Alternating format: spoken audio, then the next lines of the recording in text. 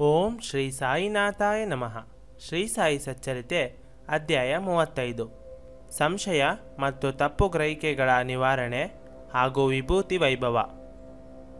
ಶ್ರೀ ಗಣೇಶನಿಗೆ ಪ್ರಣಾಮಗಳು, ಶ್ರೀ ಸರಸ್ವತಿಗೆ ಪ್ರಣಾಮಗಳು, ಶ್ರೀ ಗುರುವಿಗೆ ಪ್ರಣಾಮಗಳು, ಶ್ರೀ ಕುಲದೇವತೆಗೆ ಪ್ರಣಾಮಗಳು, ಶ್ರೀ ಸೀತಾರಾಮಚಂದ್ರನಿಗೆ ಪ್ರಣಾಮಗಳು, ಶ್ರೀ ಸದ್ಗುರು ಸಾಯಿನಾಥನಿಗೆ ಪ್ರಣಾಮಗಳು. ಪೂರ್ವದಲ್ಲಿ ಇಂದಿನ ಅಧ್ಯಾಯದಲ್ಲಿ ನಾನು ಕೆಲವು ಕಥೆಗಳನ್ನು ನಿರೂಪಿಸುವೆನೆಂದು ಸೂಚನೆ ನೀಡಿದ್ದೆನು. ಈಗ ನಾನು ಅವುಗಳನ್ನು ವಿಸ್ತಾರವಾಗಿ ತಿಳಿಸುತ್ತೇನೆ. ತಾಳ್ಮೆಯಿಂದ ಅವುಗಳನ್ನು ಕೇಳಿರಿ. ಪರಮಾರ್ಥ ಸಾಧನೆಯಲ್ಲಿ ಜಾತೀಯತೆಯ ಅಹಂಕಾರವು ದೊಡ್ಡ ಅಡಚಣೆಯಾಗಿದೆ. ಅಹಂಕಾರಕ್ಕಿಂತ ಭಯಂಕರವಾದ ದುರ್ಧರವಾದ ವಿಘ್ನವು ಮತ್ತೊಂದಿಲ್ಲ. ನಾವು ನಿರಾಕಾರದ ಆರಾಧಕರು. ದೈವದ ಸಾಕಾರ ಸ್ವರೂಪವಾದ ಮನುಷ್ಯನಲ್ಲಿ ಭ್ರಮೆಯನ್ನು ಹುಟ್ಟಿಸುತ್ತದೆ. ಸಾಧು ಸಂತರು ಮಾನವರೇ, ನಾವು ಏಕೆ ಅವರಿಗೆ ನಮಸ್ಕರಿಸಬೇಕು? ನಾವು ಅವರಿಗೆ ಶಿರಬಾಗಿ ನಮಸ್ಕರಿಸಬಾರದು. ನಾವು ಅವರಿಗೆ ದಕ್ಷಿಣೆಯನ್ನು, ಭಿಕ್ಷೆಯನ್ನು ದಾನ ಮಾಡಬಾರದು. ಇದು ಕಿಂಚಿತ್ ಮಾನವನು ದೂರ ಮಾಡಿದೆ ವಿಡಂಬನೆಯ ರೀತಿ ಇದೆ. ಅನೇಕ ಜನರು ಶಿರಡಿಯ ಸಂಬಂಧವಾಗಿ ನಾನಾ ಕಥೆಗಳನ್ನು, ವಿವಿಧ ದೃಷ್ಟಿಕೋನಗಳನ್ನು ಬೀರುತ್ತಾ ಆಡುತ್ತಾರೆ. ನಾವು ಅವುಗಳೆಲ್ಲವನ್ನು ನಂಬಲು ಸಾಧ್ಯವಿಲ್ಲ. ಕೆಲವರು ತಾವು ದರ್ಶನಕ್ಕೆ ಹೋದಾಗ ಸಾಯಿಬಾಬರವರು ದಕ್ಷಿಣೆಯನ್ನು ಬೇಡಿದ್ದಾರೆಂದು ಹೇಳಿದರು. ಒಬ್ಬ ಸಾಧುವು ದ್ರವ್ಯ ಸಂಪಾದನೆಯಲ್ಲಿ ಮಗ್ನನಾದರೆ ಅವನ ಸಾಧುತ್ವವು ತನ್ನ ಗುಣಮಟ್ಟವನ್ನು ಕಳೆದುಕೊಂಡು ಹೀನಾಯವೆನ್ನಿಸುತ್ತದೆ. ಕೆಲವರು ಅಂಧಶ್ರದ್ಧೆಯು ಒಳ್ಳೆಯದಲ್ಲವೆಂದು ಹೇಳುತ್ತಾರೆ. ಯಾವುದನ್ನು ಪ್ರತ್ಯಕ್ಷ ಅನುಭವದಿಂದ ನಿಶ್ಚಯಿಸಬೇಕು? ಯಾವ ರೀತಿ ವರ್ತಿಸಬೇಕೆಂದು ಮನದಲ್ಲಿಯೇ ನಿಶ್ಚಯಿಸಿಕೊಳ್ಳಬೇಕು. ನಾವು ದಕ್ಷಿಣೆಯನ್ನು ನೀಡುವುದಿಲ್ಲ. ಯಾರು ಹಣಕ್ಕಾಗಿ ಆಸೆ ಪಡುತ್ತಾರೋ ಅವರನ್ನು ಸಾಧುವೆಂದು ಪರಿಗಣಿಸಲಾಗುವುದಿಲ್ಲ. ಮತ್ತು ಅವರು ಯಾವ ರೌರವ ನರಕಕ್ಕೂ ಅರ್ಹರಲ್ಲ. ಆದರೆ ನಾವು ಶಿರಡಿಗೆ ಹೋಗೋಣ ಮತ್ತು ಅವರನ್ನು ಭೇಟಿ ಮಾಡಿ ಬರೋಣ. ನಾವು ಮಾತ್ರ ಅವರ ಚರಣಗಳಿಗೆ ವಂದಿಸುವುದು ಬೇಡ ಮತ್ತು ದಕ್ಷಿಣೆಯನ್ನು ಕೊಡುವುದು ಬೇಡ. ಈ ರೀತಿಯ ಕುತರ್ಕ ಬುದ್ಧಿಯಿಂದ ಯಾರೆಲ್ಲರೂ ಮನೆಯಿಂದ ಹೊರಟರೋ ಮತ್ತು ತಮ್ಮ ದೃಢ ನಿರ್ಧಾರಗಳನ್ನು ಕಾಪಾಡಲು ನಿರ್ಧರಿಸಿದರೋ ಅವರೆಲ್ಲರೂ ಕೊನೆಯಲ್ಲಿ ಸಾಯಿಯ ದರ್ಶನಕ್ಕೆ ಬಂದು ಸಂಪೂರ್ಣವಾಗಿ ಶರಣಾದರು.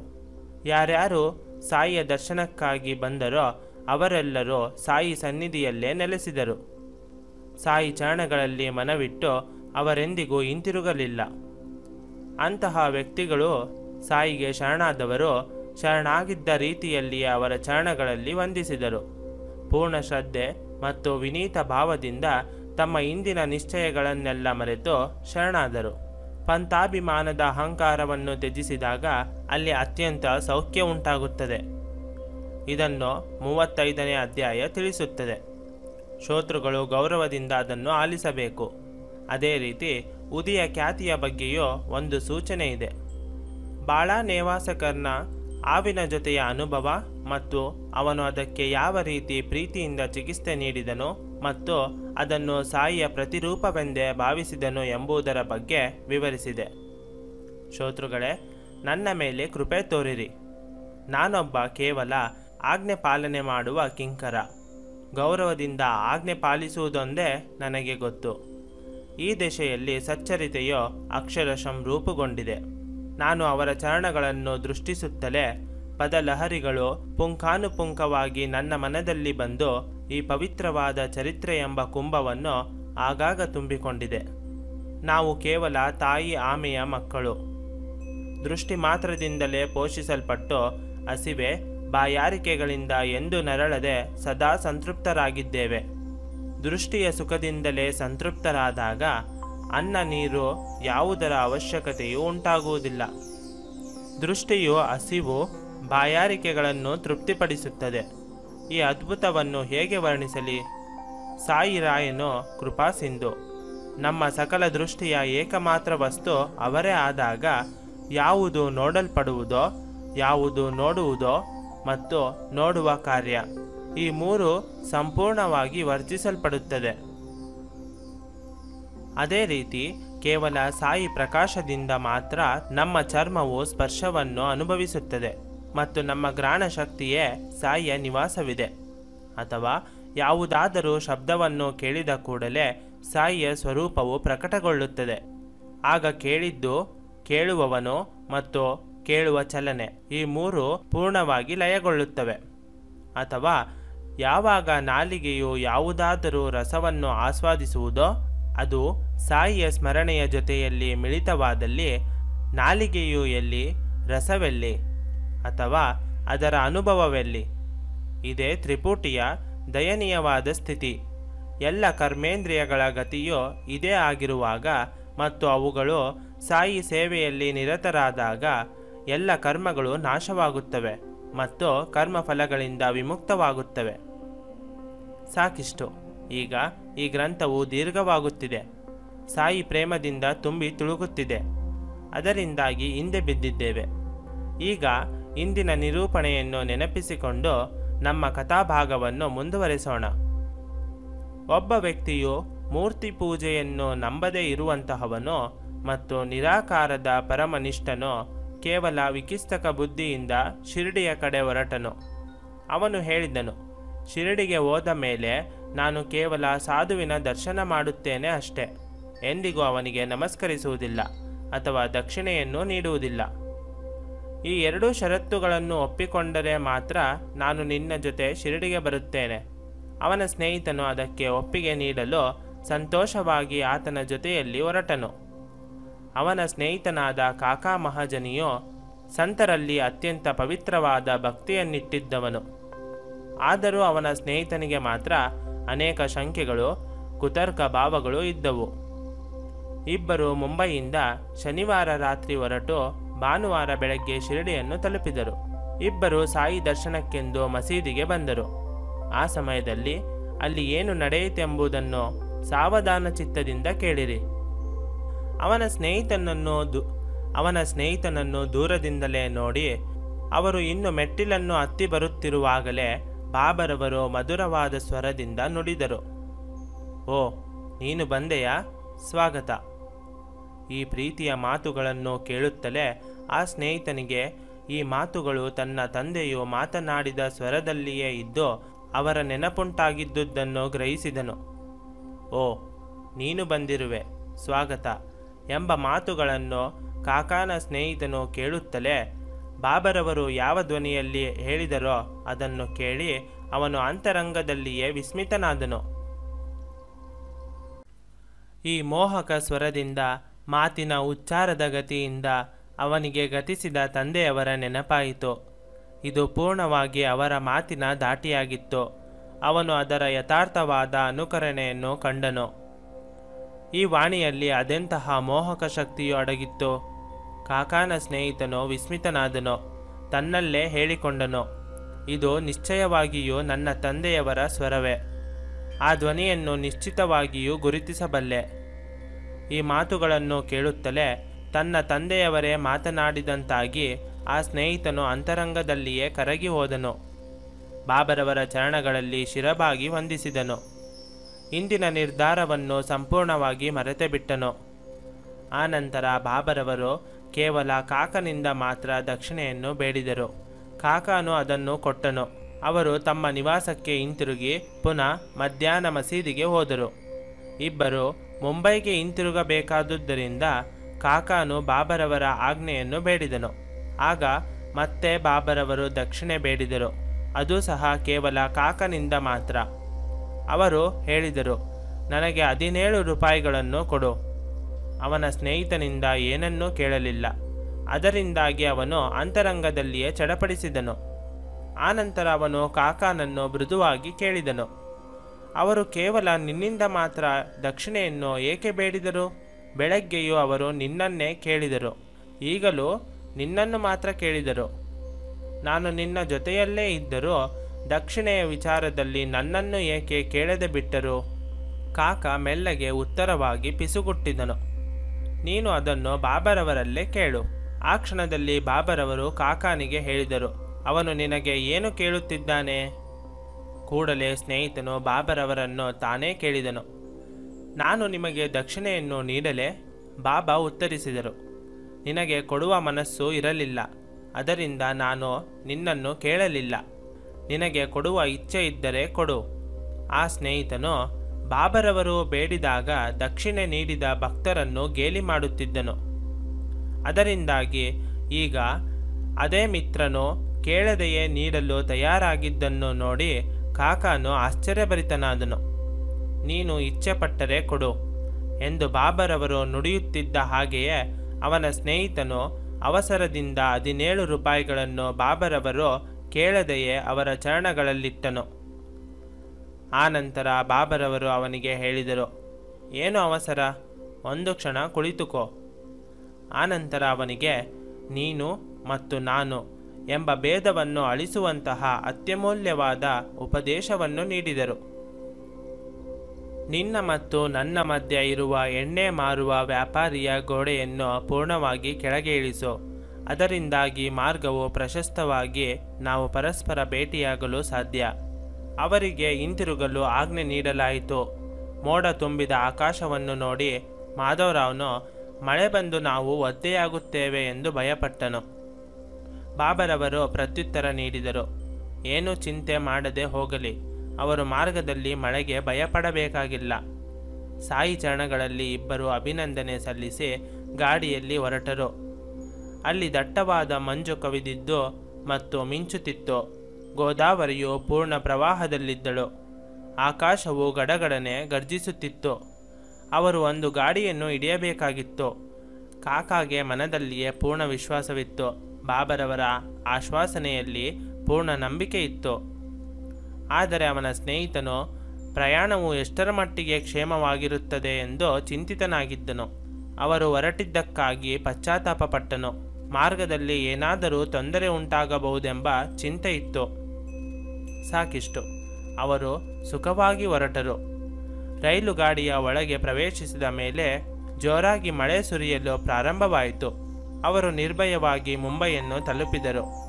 ಅವನು ಮನೆಗೆ ಹೋಗಿ ಬಾಗಿಲುಗಳನ್ನು ಮತ್ತು ಕಿಟಕಿಗಳನ್ನು ತೆಗೆದನು. ಕೂಡಲೇ ಒಳಗೆ ಸಿಕ್ಕಿ ಹಾಕಿಕೊಂಡಿದ್ದ ಒಂದು ಪಾರಿವಾಳವು ಹೊರಗೆ ಹಾರಿಹೋಯಿತು. ಅದಾಗಿಯೂ ಎರಡು ಪಾರಿವಾಳಗಳು ಸತ್ತು ಹೋಗಿದ್ದವು. ಈ ದೃಶ್ಯವನ್ನು ನೋಡಿ ಅವನು ಬಹಳ ದುಃಖಿತನಾದನು. ಓ ದೇವರೇ, ಅವು ಹಸಿವು ಬಾಯಾರಿಕೆಗಳಿಂದ ತಮ್ಮ ಜೀವ ಕಳೆದುಕೊಂಡಿವೆ. ನಾನು ಶಿರಡಿಗೆ ಹೊರಡುವ ಮೊದಲು ಕಿಟಕಿಗಳನ್ನೇನಾದರೂ ತೆಗೆದು ಇಟ್ಟಿದ್ದಲ್ಲಿ ಅವು ಸಾಯುತ್ತಾ ಇರಲಿಲ್ಲ. ಆ ಬಡಪಾಯಿಗಳು ನನ್ನಿಂದಾಗಿ ಮರಣ ಹೊಂದಿವೆ. ಅದು ಈಗ ಹೊರಗೆ ಹೋದ ಪಾರಿವಾಳದ ಬಗ್ಗೆ ಬಾಬರವರು ಕಾಳಜಿ ವಹಿಸಿದ್ದಾರೇನೋ ಅನ್ನುವಂತಿದೆ. ಆದುದರಿಂದಲೇ ಅವರು ಸಂತೋಷವಾಗಿ ಈ ದಿನ ಹೊರಡಲು ಆಜ್ಞೆ ನೀಡಿದರು. ಇಲ್ಲದಿದ್ದಲ್ಲಿ ಅದು ಸಹ ಮರಣ ಹೊಂದುತ್ತಿತ್ತು. ಅನ್ನವಿಲ್ಲದೆ ಅದು ಹೇಗೆ ಬದುಕಿರಲು ಸಾಧ್ಯವಾಗುತ್ತಿತ್ತು? ಇದು ಮಾತ್ರ ಸುರಕ್ಷಿತವಾಗಿದ್ದು ಉಳಿದೆರಡು ತಮ್ಮ ವಿಧಿ ಬರಹದಂತೆ ಆಯಸ್ಸು ಮುಗಿಸಿದವು. ಅವನ ಮತ್ತೊಂದು ಅನುಭವವೂ ಸಹ ಶ್ರವಣಾರ್ಹವಾಗಿದೆ. ಅವನು ಕೆಲವು ತಿಂಗಳುಗಳಿಂದ ತನ್ನ ಒಂದು ಕಾಲಿನ ಹಿಮ್ಮಡಿಯ ನೋವಿನಿಂದ ನರಳುತ್ತಿದ್ದನು. ಶಿರಡಿಗೆ ಹೋಗುವ ಮೊದಲು ಅವನು ಅನೇಕ ತಿಂಗಳುಗಳ ಕಾಲ ಈ ತೊಂದರೆಯನ್ನು ಅನುಭವಿಸಿದ್ದನು. ಅಲ್ಲಿಂದ ಹಿಂತಿರುಗಿದ ಮೇಲೆ ಆ ನೋವು ದೂರವಾಗಿತ್ತು. ಅತ್ಯಲ್ಪ ಸಮಯದಲ್ಲೇ ಅದು ಮಾಯವಾಗಿತ್ತು. ಅದೇ ರೀತಿ ಮತ್ತೊಂದು ಕತೆ ಇದೆ. ಒಬ್ಬ ವ್ಯಕ್ತಿಯು ಒಬ್ಬ ಸಂತನನ್ನು ಹುಡುಕಿಕೊಂಡು ಹೋಗಿ ಅಲ್ಲಿ ತನಗೆ ಆ ಉದ್ದೇಶವಿಲ್ಲದಿದ್ದರೂ ಸಹ ಸಂತರ ಚರಣಗಳಲ್ಲಿ ತಲೆಯಿಟ್ಟು ನಮಸ್ಕರಿಸುತ್ತಾನೆ. ಅದನ್ನು ಕೇಳಿ. ಮತ್ತೆಯೋ, ಒಬ್ಬ ವ್ಯಕ್ತಿಯು ಈ ಸಂಸಾರದ ಮೋಹಪಾಶದಲ್ಲಿ ಸಿಲುಕಿ ದಕ್ಷಿಣೆ ಕೊಡಲು ಇಚ್ಛೆ ಇಲ್ಲದಿದ್ದರೂ ಸಹ ಅವನು ದೃಢವಾದ ನಿಶ್ಚಯವನ್ನು ಹೊಂದಿದ್ದರೂ ಸಹ ದಕ್ಷಿಣೆಯನ್ನು ನೀಡುತ್ತಾನೆ. ಧರಂಸಿ ಜೇಠಾಬಾಯಿ ಟಕ್ಕರನು ಮುಂಬೈ ನಿವಾಸಿಯಾಗಿದ್ದು ಸೊಲಿಟರ್ ಆಗಿದ್ದನು, ಅಂದರೆ ವಕೀಲ ಆಗಿದ್ದನು.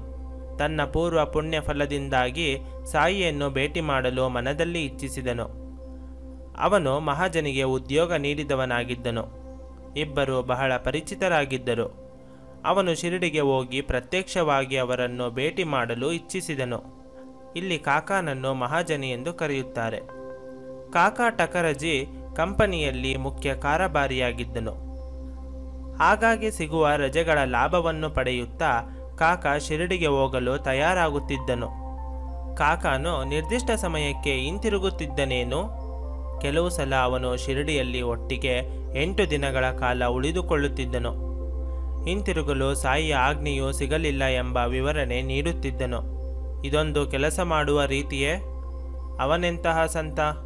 ಈ ರೀತಿಯ ಸಂತನ ಕೆಲಸವನ್ನು ನಾನು ಒಪ್ಪುವುದಿಲ್ಲ ಎಂದು ಅಂದುಕೊಂಡ ಸೇಠನು ಹೋಳಿ ಹಬ್ಬದ ರಜೆಯಲ್ಲಿ ಈ ಸಾಯಿಯು ಯಾರೆಂದು ತಿಳಿದುಕೊಳ್ಳಲು ಹೊರಟನು. ಅವನ ಅಹಂಕಾರ ದುರ್ಧರವಾದ ದೇಹಾಭಿಮಾನ ಮತ್ತು ತನ್ನ ಐಶ್ವರ್ಯದಲ್ಲಿದ್ದ ಗರ್ವವು ಅತಿಯಾಗಿತ್ತು. ಶಾಸ್ತ್ರವೇತರು ಮತ್ತು ಪರಿಣಿತರು. ದಣಿದು ಸಾಯಿಯ ಅಧಿಕಾರದ ಸ್ಥಿತಿಯ ಮುಂದೆ ಸೋಲನ್ನೊಪ್ಪಿಕೊಂಡಿದ್ದರು. ಹಾಗಿರುವಾಗ ಈ ಬಡಪಾಯಿ ಧರಂಸಿಯು ಏನು ಮಾಡಬಲ್ಲನು? ಅವನು ಎಷ್ಟರ ಮಟ್ಟಿಗೆ ತನ್ನ ನಿರ್ಧಾರಕ್ಕೆ ಅಂಟಿಕೊಂಡಿರಬಲ್ಲನು? ಆದರೆ ಅಂಧಶ್ರದ್ಧೆಯು ಸರಿಯಲ್ಲ. ನಾನೇ ಅಲ್ಲಿಗೆ ಹೋದರೆ ಖಂಡಿತವಾಗಿ ವಸ್ತುಸ್ಥಿತಿಯನ್ನು ಅರಿಯಬಹುದು. ಈ ತರಹದ ನಿಶ್ಚಯದಿಂದ ಶಿರಡಿಗೆ ಹೋಗಲು ತಯಾರಿ ನಡೆಸಿದನು. ಧರಂಸಿಯು ಸಹ ಮುಂದಿನ ಪದಗಳಲ್ಲಿ ವಿವರಿಸಿರುವಂತಹ ಮತ್ತೊಬ್ಬ ಸ್ನೇಹಿತ ಕಾಕಾನ ರೀತಿಯಲ್ಲಿ ಷರತ್ತುಗಳನ್ನು ಹಾಕಿಕೊಂಡನು. ಅವನು ಕಾಕಾ ಜೊತೆಯಲ್ಲಿ ಹೊರಟು ಅವನಿಗೆ ಹೇಳಿದನು, ಈ ಪ್ರವಾಸದಲ್ಲಿ ನೀನು ಶಿರಡಿಗೆ ಹೋಗಿ ಅಲ್ಲಿಯೇ ನೆಲೆಸುವಂತಿಲ್ಲ. ನೀನು ನನ್ನ ಜೊತೆಯಲ್ಲಿ ಹಿಂತಿರುಗಬೇಕು. ಅದು ಮಾತ್ರ ಖಂಡಿತ. ಆಗ ಕಾಕಾ ಉತ್ತರಿಸಿದನು, ಅದು ನಮ್ಮ ಕೈಯಲ್ಲಿಲ್ಲ. ಆದುದರಿಂದ ಧರಂಸಿಯು ಮಾರ್ಗದಲ್ಲಿ ಹೋಗುವಾಗ ಮತ್ತೊಬ್ಬ ವ್ಯಕ್ತಿಯನ್ನು ಜೊತೆಯಲ್ಲಿ ಕರೆದುಕೊಂಡನು. ಒಂದು ವೇಳೆ ಕಾಕ ಹಿಂತಿರುಗದಿದ್ದರೆ ಜೊತೆ ಇಲ್ಲದೆ ಅವನಿಗೆ ಕಷ್ಟವಾಗುತ್ತದೆ ಎಂದು ಯೋಚಿಸಿ ಮತ್ತೊಬ್ಬ ಮೂರನೇ ವ್ಯಕ್ತಿಯನ್ನು ಕರೆದುಕೊಂಡನು. ಮೂರು ಜನರು ಶಿರಡಿಗೆ ಹೊರಟರು. ಈ ಜಗತ್ತಿನಲ್ಲಿ ಅನೇಕ ರೀತಿಯ ಜನರು ಇರುತ್ತಾರೆ. ಭಕ್ತರಿಗೆ ಉಪಕಾರ ಮಾಡುವಂಥವರೂ ಇರುತ್ತಾರೆ. ಬಾಬರವರು ಅವರ ಸಂಶಯಗಳನ್ನು ನಿವೃತ್ತಿ ಮಾಡಲು ಅವರನ್ನು ಶಿರಡಿಗೆ ಎಳೆಯುತ್ತಾರೆ. ಅವರು ಹಿಂತಿರುಗಿದಾಗ ತಮ್ಮ ಅನುಭವವನ್ನು ಇತರರಿಗೆ ಹಂಚಿಕೊಳ್ಳುತ್ತಿದ್ದರು. ಅವರು ಇತರರಿಂದ ಅದನ್ನು ಬರೆಸುತ್ತಿದ್ದರು. ಅದರಿಂದಾಗಿ ಜನರು ಸನ್ಮಾರ್ಗವನ್ನು ಹಿಡಿಯಬಲ್ಲವರಾಗಿದ್ದರು. ತಾತ್ಪರ್ಯವೇನೆಂದರೆ ಶಿರಡಿಗೆ ಹೋದವರೆಲ್ಲರೂ ದರ್ಶನದ ಸುಖದಿಂದ ತೃಪ್ತರಾಗಿರುತ್ತಿದ್ದರು. ಆರಂಭದಲ್ಲಿ ಅವರ ಮನೋವೃತ್ತಿ ಏನೇ ಇದ್ದರೂ ಕೊನೆಯಲ್ಲಿ ಮಾತ್ರ ಪರಮಾನಂದ ಪ್ರಾಪ್ತಿಯನ್ನು ಹೊಂದುತ್ತಿದ್ದರು. ಕೇವಲ ತೋರಿಕೆಗೆ ಮಾತ್ರ ಪ್ರೀತಿ ಇದೆ ಎನ್ನುತ್ತಿದ್ದರು. ಆದ್ದರಿಂದ ತಾವಾಗಿಯೇ ಅಲ್ಲಿಗೆ ಹೋಗುತ್ತಿದ್ದರು. ಆದರೆ ವಸ್ತುಸ್ಥಿತಿಯೇ ಬೇರೆಯೇ ಇರುತ್ತಿತ್ತು. ಅವರು ಬಾಬರವರ ಕಾರ್ಯವನ್ನು ಸಾಧಿಸುತ್ತಿದ್ದರು. ಬಾಬರವರು ಸ್ವತಃ ಅವರಿಗೆ ಹೊರಗೆ ಹೋಗಲು ಸ್ಫೂರ್ತಿ ನೀಡುತ್ತಿದ್ದರು. ಅವರ ಸ್ವಾಭಾವಿಕ ವೃತ್ತಿಗಳು ಅರಿವಿಗೆ ಬರದಂತೆ ಮಾಡಿ ಅವರನ್ನು ಪರಮಾರ್ಥ ಮಾರ್ಗದಲ್ಲಿ ಕರೆದೊಯ್ಯುತ್ತಿದ್ದರು. ಅವರ ರೀತಿ ನೀತಿಗಳು ಯಾರಿಗೆ ಗೊತ್ತು? ತಾನಾಗಿಯೇ ಪ್ರಯತ್ನಿಸಿದ್ದಲ್ಲಿ ಒಬ್ಬ ವ್ಯಕ್ತಿಯು ದುರಾದೃಷ್ಟವನ್ನು ಆಹ್ವಾನಿಸುತ್ತಾನೆ. ಆದ್ದರಿಂದ ನಿರಭಿಮಾನಿಯಾಗಿ ಅವರ ಚರಣಗಳಲ್ಲಿ ಶರಣಾದರೆ ಸುಖದ ಹಬ್ಬವನ್ನು ಅನುಭವಿಸಬಹುದು. ದೇವಸ್ಥಾನ, ಬ್ರಾಹ್ಮಣ ಅಥವಾ ಗುರು, ಇವರಲ್ಲಿಗೆ ಖಾಲಿ ಕೈಯಲ್ಲಿ ಹೋಗಬಾರದು ಎಂಬುವುದು ಪ್ರತೀತಿ. ಆದ್ದರಿಂದ ಕಾಕಾನು ಮಾರ್ಗದಲ್ಲಿ ಎರಡು ಸೇರು ದ್ರಾಕ್ಷಿಯನ್ನು ಖರೀದಿಸಿದನು. ಅವನು ಬೀಜವಿಲ್ಲದ ದ್ರಾಕ್ಷಿಯನ್ನು ಕೊಳ್ಳಬೇಕೆಂದಿದ್ದನು. ಆದರೆ ಆ ಸಮಯದಲ್ಲಿ ಕೇವಲ ಬೀಜವುಳ್ಳ ದ್ರಾಕ್ಷಿ ಮಾತ್ರ ದೊರಕಿತು. ಆದ್ದರಿಂದ ಕಾಕಾನು ಅದನ್ನೇ ಖರೀದಿಸಿದನು. ಅದು ಹಾಗಿರಲಿ. ಆ ಮೂವರು ಸಂತೋಷವಾಗಿ ಅರಟೆ ಒಡೆಯುತ್ತಾ ಶಿರಡಿಯನ್ನು ತಲುಪಿದರು. ಮೂವರು ಬಾಬರವರ ದರ್ಶನಕ್ಕಾಗಿ ಮಸೀದಿಗೆ ಹೋದರು. ಬಾಬಾ ಸಾಹೇಬ್ ತರ್ಕಡ ಎಂಬ ಭಕ್ತನು ಅಲ್ಲಿದ್ದನು. ಸೇಠ್ ಧರಂಸಿಯು ಅವನನ್ನು ಕೌತುಕದಿಂದ ಏನು ಕೇಳಿದನೆಂಬುದನ್ನು ಕೇಳಿರಿ. ಇಲ್ಲಿ ಏನಿದೆ? ನೀವು ಏಕೆ ಬಂದಿರುವಿರಿ? ತರ್ಕಡನು ಹೇಳಿದನು. ದರ್ಶನಕ್ಕಾಗಿ. ಸೇಠ್ನು ಕೇಳಿದನು. ಇಲ್ಲಿ ಚಮತ್ಕಾರಗಳು ನಡೆಯುತ್ತವೆ ಎಂದು ಕೇಳಿದ್ದೆನು. ಆಗ ತರ್ಕಡನು ಅವನಿಗೆ ಉತ್ತರಿಸಿದನು, ಒಳ್ಳೆಯದು, ಅದು ನನ್ನ ಭಾವನೆಯಲ್ಲ. ಆದರೆ ಭಕ್ತರ ಉತ್ಕಟ ಮನಸ್ಸಿನ ಉದ್ದೇಶಗಳು ಸಿದ್ಧಿ ಹೊಂದುತ್ತವೆ ಕಾಕನು ತನ್ನ ತಲೆಯನ್ನು ಬಾಬರವರ ಚರಣಗಳ ಮೇಲಿಟ್ಟು ದ್ರಾಕ್ಷಿಯನ್ನು ಬಾಬರವರಿಗೆ ಅರ್ಪಿಸಿದನು. ಅಲ್ಲಿ ಬಹಳ ದೊಡ್ಡ ಗುಂಪು ನೆರೆದಿದ್ದರಿಂದ ಹಂಚುವಿಕೆಯು ಪ್ರಾರಂಭವಾಯಿತು. ಆ ನಂತರ ಬಾಬರವರು ಇತರರ ಜೊತೆಯಲ್ಲಿಯೇ ಧರಂಸಿಗೂ ಸಹ ಸ್ವಲ್ಪ ದ್ರಾಕ್ಷಿಯನ್ನು ಕೊಟ್ಟರು. ಆದರೆ ಅವನಿಗೆ ಈ ಜಾತಿಯ ದ್ರಾಕ್ಷಿ ಇಷ್ಟವಿರಲಿಲ್ಲ. ಅವನು ಬೀಜವಿಲ್ಲದ ದ್ರಾಕ್ಷಿಯನ್ನು ಇಷ್ಟಪಡುತ್ತಿದ್ದನು. ಅವನಿಗೆ ಈ ರೀತಿಯ ದ್ರಾಕ್ಷಿಯ ಮೇಲೆ ಏವರಿಕೆ ಇತ್ತು. ಈ ರೀತಿ ಆರಂಭದಲ್ಲೇ ಒಂದು ವಿಘ್ನ ಹುಟ್ಟಿತು.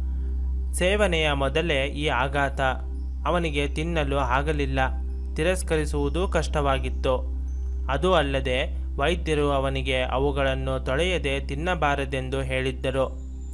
ಅವನೊಬ್ಬನೇ ತೊಳೆಯುವುದು ಸರಿಯಲ್ಲವೆಂದು ಅನಿಸಿತು. ನಾನಾ ವಿಧದ ಕಲ್ಪನೆಗಳು ಉದ್ಭವಿಸಿದವು. ಕೊನೆಯಲ್ಲಿ ಅವನು ಅವುಗಳನ್ನು ಇದ್ದ ಹಾಗೆಯೇ ಬಾಯಲ್ಲಿ ಹಾಕಿಕೊಂಡನು ಮತ್ತು ನಿಧಾನವಾಗಿ ಜಗಿಯುತ್ತಾ ಬೀಜಗಳನ್ನು ಏರ್ಪಡಿಸಿ ತನ್ನ ಜೇಬಿನಲ್ಲಿ ಹಾಕಿಕೊಂಡನು. ಇದು ಒಬ್ಬ ಸಾಧುವಿನ ಪವಿತ್ರ ಸ್ಥಾನವಾಗಿತ್ತು ಮತ್ತು ತನ್ನ ಎಂಜಲಿನಿಂದ ಮೈಲಿಗೆ ಮಾಡಲಿಚ್ಛಿಸಲಿಲ್ಲ ಆನಂತರ ಸೇಟನು ಯೋಚಿಸಿದನು, ಸಂತರಾದ ಅವರಿಗೆ ನನಗೆ ಈ ದ್ರಾಕ್ಷಿಗಳು ಇಷ್ಟವಿಲ್ಲವೆಂದು ಏಕೆ ಗೊತ್ತಾಗಲಿಲ್ಲ? ಅವರು ನನಗೆ ಬಲವಂತವಾಗಿ ಏಕೆ ಕೊಟ್ಟರು? ಈ ಯೋಚನೆಗಳು ಹುಟ್ಟುತ್ತಲೇ ಬಾಬರವರು ಮತ್ತಷ್ಟು ದ್ರಾಕ್ಷಿಗಳನ್ನು ಕೊಟ್ಟರು. ಅವು ಅದೇ ಬೀಜವುಳ್ಳ ದ್ರಾಕ್ಷಿಗಳೆಂಬುದನ್ನು ತಿಳಿದು ಅವನು ಅವುಗಳನ್ನು ಬಾಯಲ್ಲಿ ಹಾಕಿಕೊಳ್ಳದೆ ಕೈಯಲ್ಲಿಯೇ ಹಿಡಿದುಕೊಂಡಿದ್ದನು. ಅವನು ಬೀಜವುಳ್ಳ ದ್ರಾಕ್ಷಿಗಳನ್ನು ಇಷ್ಟಪಡುವುದಿಲ್ಲವೆಂಬುದು ಸತ್ಯವಷ್ಟೇ. ಆದರೆ ಬಾಬರವರು ಅವುಗಳನ್ನು ಅವನ ಕೈಯಲ್ಲಿ ಕೊಟ್ಟಿದ್ದರು. ಧರಂಸಿ ಸೇಠನು ಅಂತರಂಗದಲ್ಲಿ ವಿಚಲಿತನಾಗಿ ಏನು ಮಾಡುವುದೆಂದು ತಿಳಿಯದೆ ಹೋದನು. ಅವನಿಗೆ ಅವುಗಳನ್ನು ತನ್ನ ಬಾಯಲ್ಲಿ ಇಟ್ಟುಕೊಳ್ಳಲಾಗಲಿಲ್ಲ. ಎಚ್ಚರಿಕೆಯಿಂದ ತನ್ನ ಮುಷ್ಟಿಯೊಳಗೆ ಜೋಪಾನವಾಗಿ ಹಿಡಿದುಕೊಂಡಿದ್ದನು ಆಗ ಬಾಬಾ ಹೇಳಿದರು, ಅರೆ, ಅವುಗಳನ್ನು ತಿನ್ನು. ಸೇಟನು ಅವರ ಆಜ್ಞೆಯನ್ನು ಮಾನ್ಯ ಮಾಡಲೇಬೇಕಾಗಿತ್ತು. ಅವುಗಳನ್ನು ತಿನ್ನು ಎಂದು ಬಾಬರವರು ಹೇಳಿದ ಕೂಡಲೇ ಧರಂಸಿಯು ಅವುಗಳನ್ನು ಬಾಯಲ್ಲಿ ಹಾಕಿಕೊಂಡನು. ಆದರೆ ಅವುಗಳೆಲ್ಲವೂ ಬೀಜವಿಲ್ಲದ ದ್ರಾಕ್ಷಿಗಳಾಗಿದ್ದವು. ಆತ ಅತ್ಯಂತ ಆಶ್ಚರ್ಯಚಕಿತನಾದನು. ಈ ರೀತಿ ಆ ದ್ರಾಕ್ಷಿಗಳಲ್ಲಿ ಬೀಜವಿಲ್ಲದಿದ್ದುದನ್ನು ನೋಡಿ ಧರಂಸಿಯು ವಿಸ್ಮಯಚಿತ್ತನಾಗಿ ಮನದಲ್ಲೇ ಯೋಚಿಸಿದನು. ಇದು ಅಪರೂಪದ ಶಕ್ತಿ. ಈ ಸಂತರಿಗೆ ಯಾವುದು ಅಶಕ್ಯವಲ್ಲ. ನನ್ನ ಮನಸ್ಸಿನ ಹಿತವನ್ನು ಅರಿತು ಬೀಜವುಳ್ಳ ದ್ರಾಕ್ಷಿಯು ತೊಳೆಯದೇ ಇದ್ದರೂ ಸಾಯು ನನಗೆ ಕೊಟ್ಟಿದ್ದು ಬೀಜವಿಲ್ಲದೆ ಚೆನ್ನಾಗಿ ಇದ್ದು ಹಿತಕರವಾಗಿದ್ದವು. ಅವನು ಆಶ್ಚರ್ಯಚಕಿತನಾದನು. ತನ್ನ ಶಂಕೆಗಳನ್ನು ಮರೆತನು. ಅವನ ಅಹಂಕಾರವು ಕರಗಿ ಹೋಯಿತು. ಸಂತನ ಬಗ್ಗೆ ಪ್ರೀತಿ ಉಕ್ಕಿ ಬಂತು. ಅವನ ಇಂದಿನ ಸಂಕಲ್ಪಗಳು ಮಾಯವಾದವು. ಅವನ ಹೃದಯದಲ್ಲಿ ಸಾಯಿ ಪ್ರೇಮ ಹುಟ್ಟಿತು. ಅವನು ಯಾವ ಆತಂಕದಿಂದ ಶಿರಡಿಗೆ ಬಂದನೋ ಅದು ಹಾಗೆಯೇ ಶಂಕೆ ಇಲ್ಲದೆ ನಿಶ್ಚಯವಾಗಿಯೋ ಮಾಯವಾಗಿತ್ತು. ತರ್ಕಡನು ಸಹ ಅಲ್ಲಿಯೇ ಬಾಬರವರ ಹತ್ತಿರ ಕುಳಿತುಕೊಂಡಿದ್ದನು. ಸಾಯಿ ಬಾಬರವರು ಅವನಿಗೆ ಅದೇ ಭಾಗದಿಂದಲೇ ಕೆಲವು ದ್ರಾಕ್ಷಿಗಳನ್ನು ಕೊಟ್ಟಿದ್ದರು. ಆಗ ಧರಂಸಿಯು ಅವನನ್ನು ಕೇಳಿದನು, ನೀನು ಯಾವ ರೀತಿಯ ದ್ರಾಕ್ಷಿಯನ್ನು ಪಡೆದೆ? ಆಗ ತರ್ಕಡನು, ಅವು ಬೀಜವಿದ್ದ ಹಣ್ಣುಗಳೆಂದು ಹೇಳಿದ್ದನ್ನು ಕೇಳಿ ಅವನು ಮತ್ತಷ್ಟು ಅಚ್ಚರಿಗೊಂಡನು. ಇದರಿಂದ ಅವರು ಸಂತರೆಂದು ಅವನಿಗೆ ನಂಬಿಕೆಯಾಯಿತು. ಆದರೆ ದೃಢೀಕರಣ ಪಡೆಯುವ ಯೋಚನೆ ಹುಟ್ಟಿತು. ಅವನು ಯೋಚಿಸಿದನು, ನೀನು ನಿಜವಾದ ಸಂತನಾಗಿದ್ದರೆ ಈ ಸಲ ಹಂಚುವಿಕೆಯು ಕಾಕನಿಂದ ಪ್ರಾರಂಭವಾಗಲಿ. ಬಾಬರವರು ಅನೇಕರಿಗೆ ಹಂಚುತ್ತಿದ್ದರು. ಆದರೆ ಸೇಠ್ಜಿಗೆ ಈ ಆಲೋಚನೆಯು ಬಂದಾಗ ಬಾಬರವರು ಕಾಕನಿಂದ ಹಂಚಲು ಪ್ರಾರಂಭಿಸಿದರು. ಸೇಠನು ಅತಿಯಾದ ಅಚ್ಚರಿ ಹೊಂದಿದನು. ಸಾಧುತ್ವದ ಈ ರೀತಿಯ ಕುರುಹುಗಳು, ಈ ರೀತಿಯ ಮನಸ್ಸನ್ನು ಅರಿಯುವ ಶಕ್ತಿಯು ಧರಂಸಿಯ ಮನಸ್ಸಿಗೆ ಸಾಯಿಯನ್ನು ಮನಸಾರೆ ಸಂತನೆಂದು ಒಪ್ಪಿಕೊಳ್ಳಲು ಸಾಕಾಯಿತು. ಮಾಧವರಾವ್ನು ಅಲ್ಲಿಯೇ ಇದ್ದವನು ಬಾಬರವರಿಗೆ ಹೇಳಿದನು. ಇವನು ಕಾಕಾನ ಒಡೆಯ, ಸೇಟನು ಎಂದು ವಿವರವಾಗಿ ಪರಿಚಯಿಸಿದನು. ಅವನು ಕಾಕಾನ ಮಾಲೀಕ ಹೇಗಾಗುತ್ತಾನೆ? ಅವನಿಗೆ ಮತ್ತೊಬ್ಬ ಮಾಲೀಕನಿದ್ದಾನೆ ಎಂಬುದು ಬಾಬರವರ ಸ್ಪಷ್ಟವಾದ ಉತ್ತರವಾಗಿತ್ತು. ಕಾಕಾನು ಈ ಉತ್ತರವನ್ನು ಮೆಚ್ಚಿದನು ಮತ್ತು ಇನ್ನೊಂದು ಅಚ್ಚರಿ. ಅಲ್ಲಿ ಅಪ್ಪ ಎಂಬ ಹೆಸರಿನ ಅಡಿಗೆಯವನಿದ್ದನು. ದುನಿಯ ಹತ್ತಿರ ನಿಂತಿದ್ದನು. ಬಾಬಾ ಅವನನ್ನು ಬಹುವಾಗಿ ಮೆಚ್ಚಿದ್ದರು. ಅವರು ಹೇಳಿದರು ಈ ಸೇಟನು ನನಗೋಸ್ಕರ ಇಲ್ಲಿಗೆ ಬರುವ ತೊಂದರೆ ತೆಗೆದುಕೊಂಡಿಲ್ಲ. ಅಪ್ಪ ಮೇಲಿನ ಅವನ ಪ್ರೀತಿ ಉಕ್ಕಿ ಹರಿಯುತ್ತಿತ್ತು. ಆದ್ದರಿಂದ ಅವನು ಶಿರಡಿಗೆ ಬಂದಿದ್ದಾನೆ. ಇದರ ಅರ್ಥವನ್ನು ಟಿಪ್ಪಣಿಯಲ್ಲಿ ನಮೂದಿಸಿದ್ದಾರೆ. ಅದು ಏನೆಂದರೆ, ಧರಂಸಿಯು ಒಳ್ಳೆಯ ಭೋಜನವನ್ನು ಇಷ್ಟಪಡುತ್ತಿದ್ದನು ಮತ್ತು ಬಾಬರವರು ಅವನ ಈ ದೌರ್ಬಲ್ಯದ ಬಗ್ಗೆ ಸೂಚ್ಯವಾಗಿ ಹೇಳುತ್ತಿದ್ದರು. ಈ ರೀತಿ ಅವರ ಸಂಭಾಷಣೆಯು ಮುಗಿಯಿತು. ಧರಂಸಿಯು ತನ್ನ ನಿರ್ಧಾರವನ್ನು ಮರೆತೇ ಹೋಗಿದ್ದನು. ತಾನಾಗಿಯೇ ಬಾಬರವರ ಚರಣಗಳಲ್ಲಿ ವಂದಿಸಿದನು. ನಂತರ ವಾಡಾಗೆ ಹಿಂತಿರುಗಿದನು. ಅದು ಹಾಗಿರಲಿ. ಮಧ್ಯಾಹ್ನದ ಆರತಿಯು ಮುಗಿಯಿತು. ಅವರು ಮನೆಗೆ ಹೋಗುವ ತಯಾರಿ ನಡೆಸಿದರು. ಬಾಬರವರ ಅನುಜ್ಞೆ ಪಡೆಯುವ ವೇಳೆ ಬಂದಿತು. ಆದ್ದರಿಂದ ಆ ಗುಂಪು ಮತ್ತೆ ಮಸೀದಿಗೆ ಹೋಯಿತು. ಆನಂತರ ಧರಂಸಿಯು ಕಾಕನಿಗೆ ಹೇಳಿದನು, ನಾನು ಆಜ್ಞೆಯನ್ನು ಬೇಡುವುದಿಲ್ಲ. ನಿನಗೆ ಬೇಕಾಗಿರುವುದರಿಂದ ನೀನೇ ಕೇಳಿಕೊ. ಆಗ ಮಾಧವರಾವ್ನು ಟೀಕಿಸಿದನು, ಕಾಕಾನು ತಾನು ಹೊರಡುವ ಬಗ್ಗೆ ಖಚಿತವಾಗಿಲ್ಲ. ಒಂದು ವಾರದವರೆಗೆ ಅವನಿಗೆ ಅನುಮತಿ ದೊರಕುವುದಿಲ್ಲ. ಆದ್ದರಿಂದ ನೀನೇ ಕೇಳಬಾರದೇಕೆ?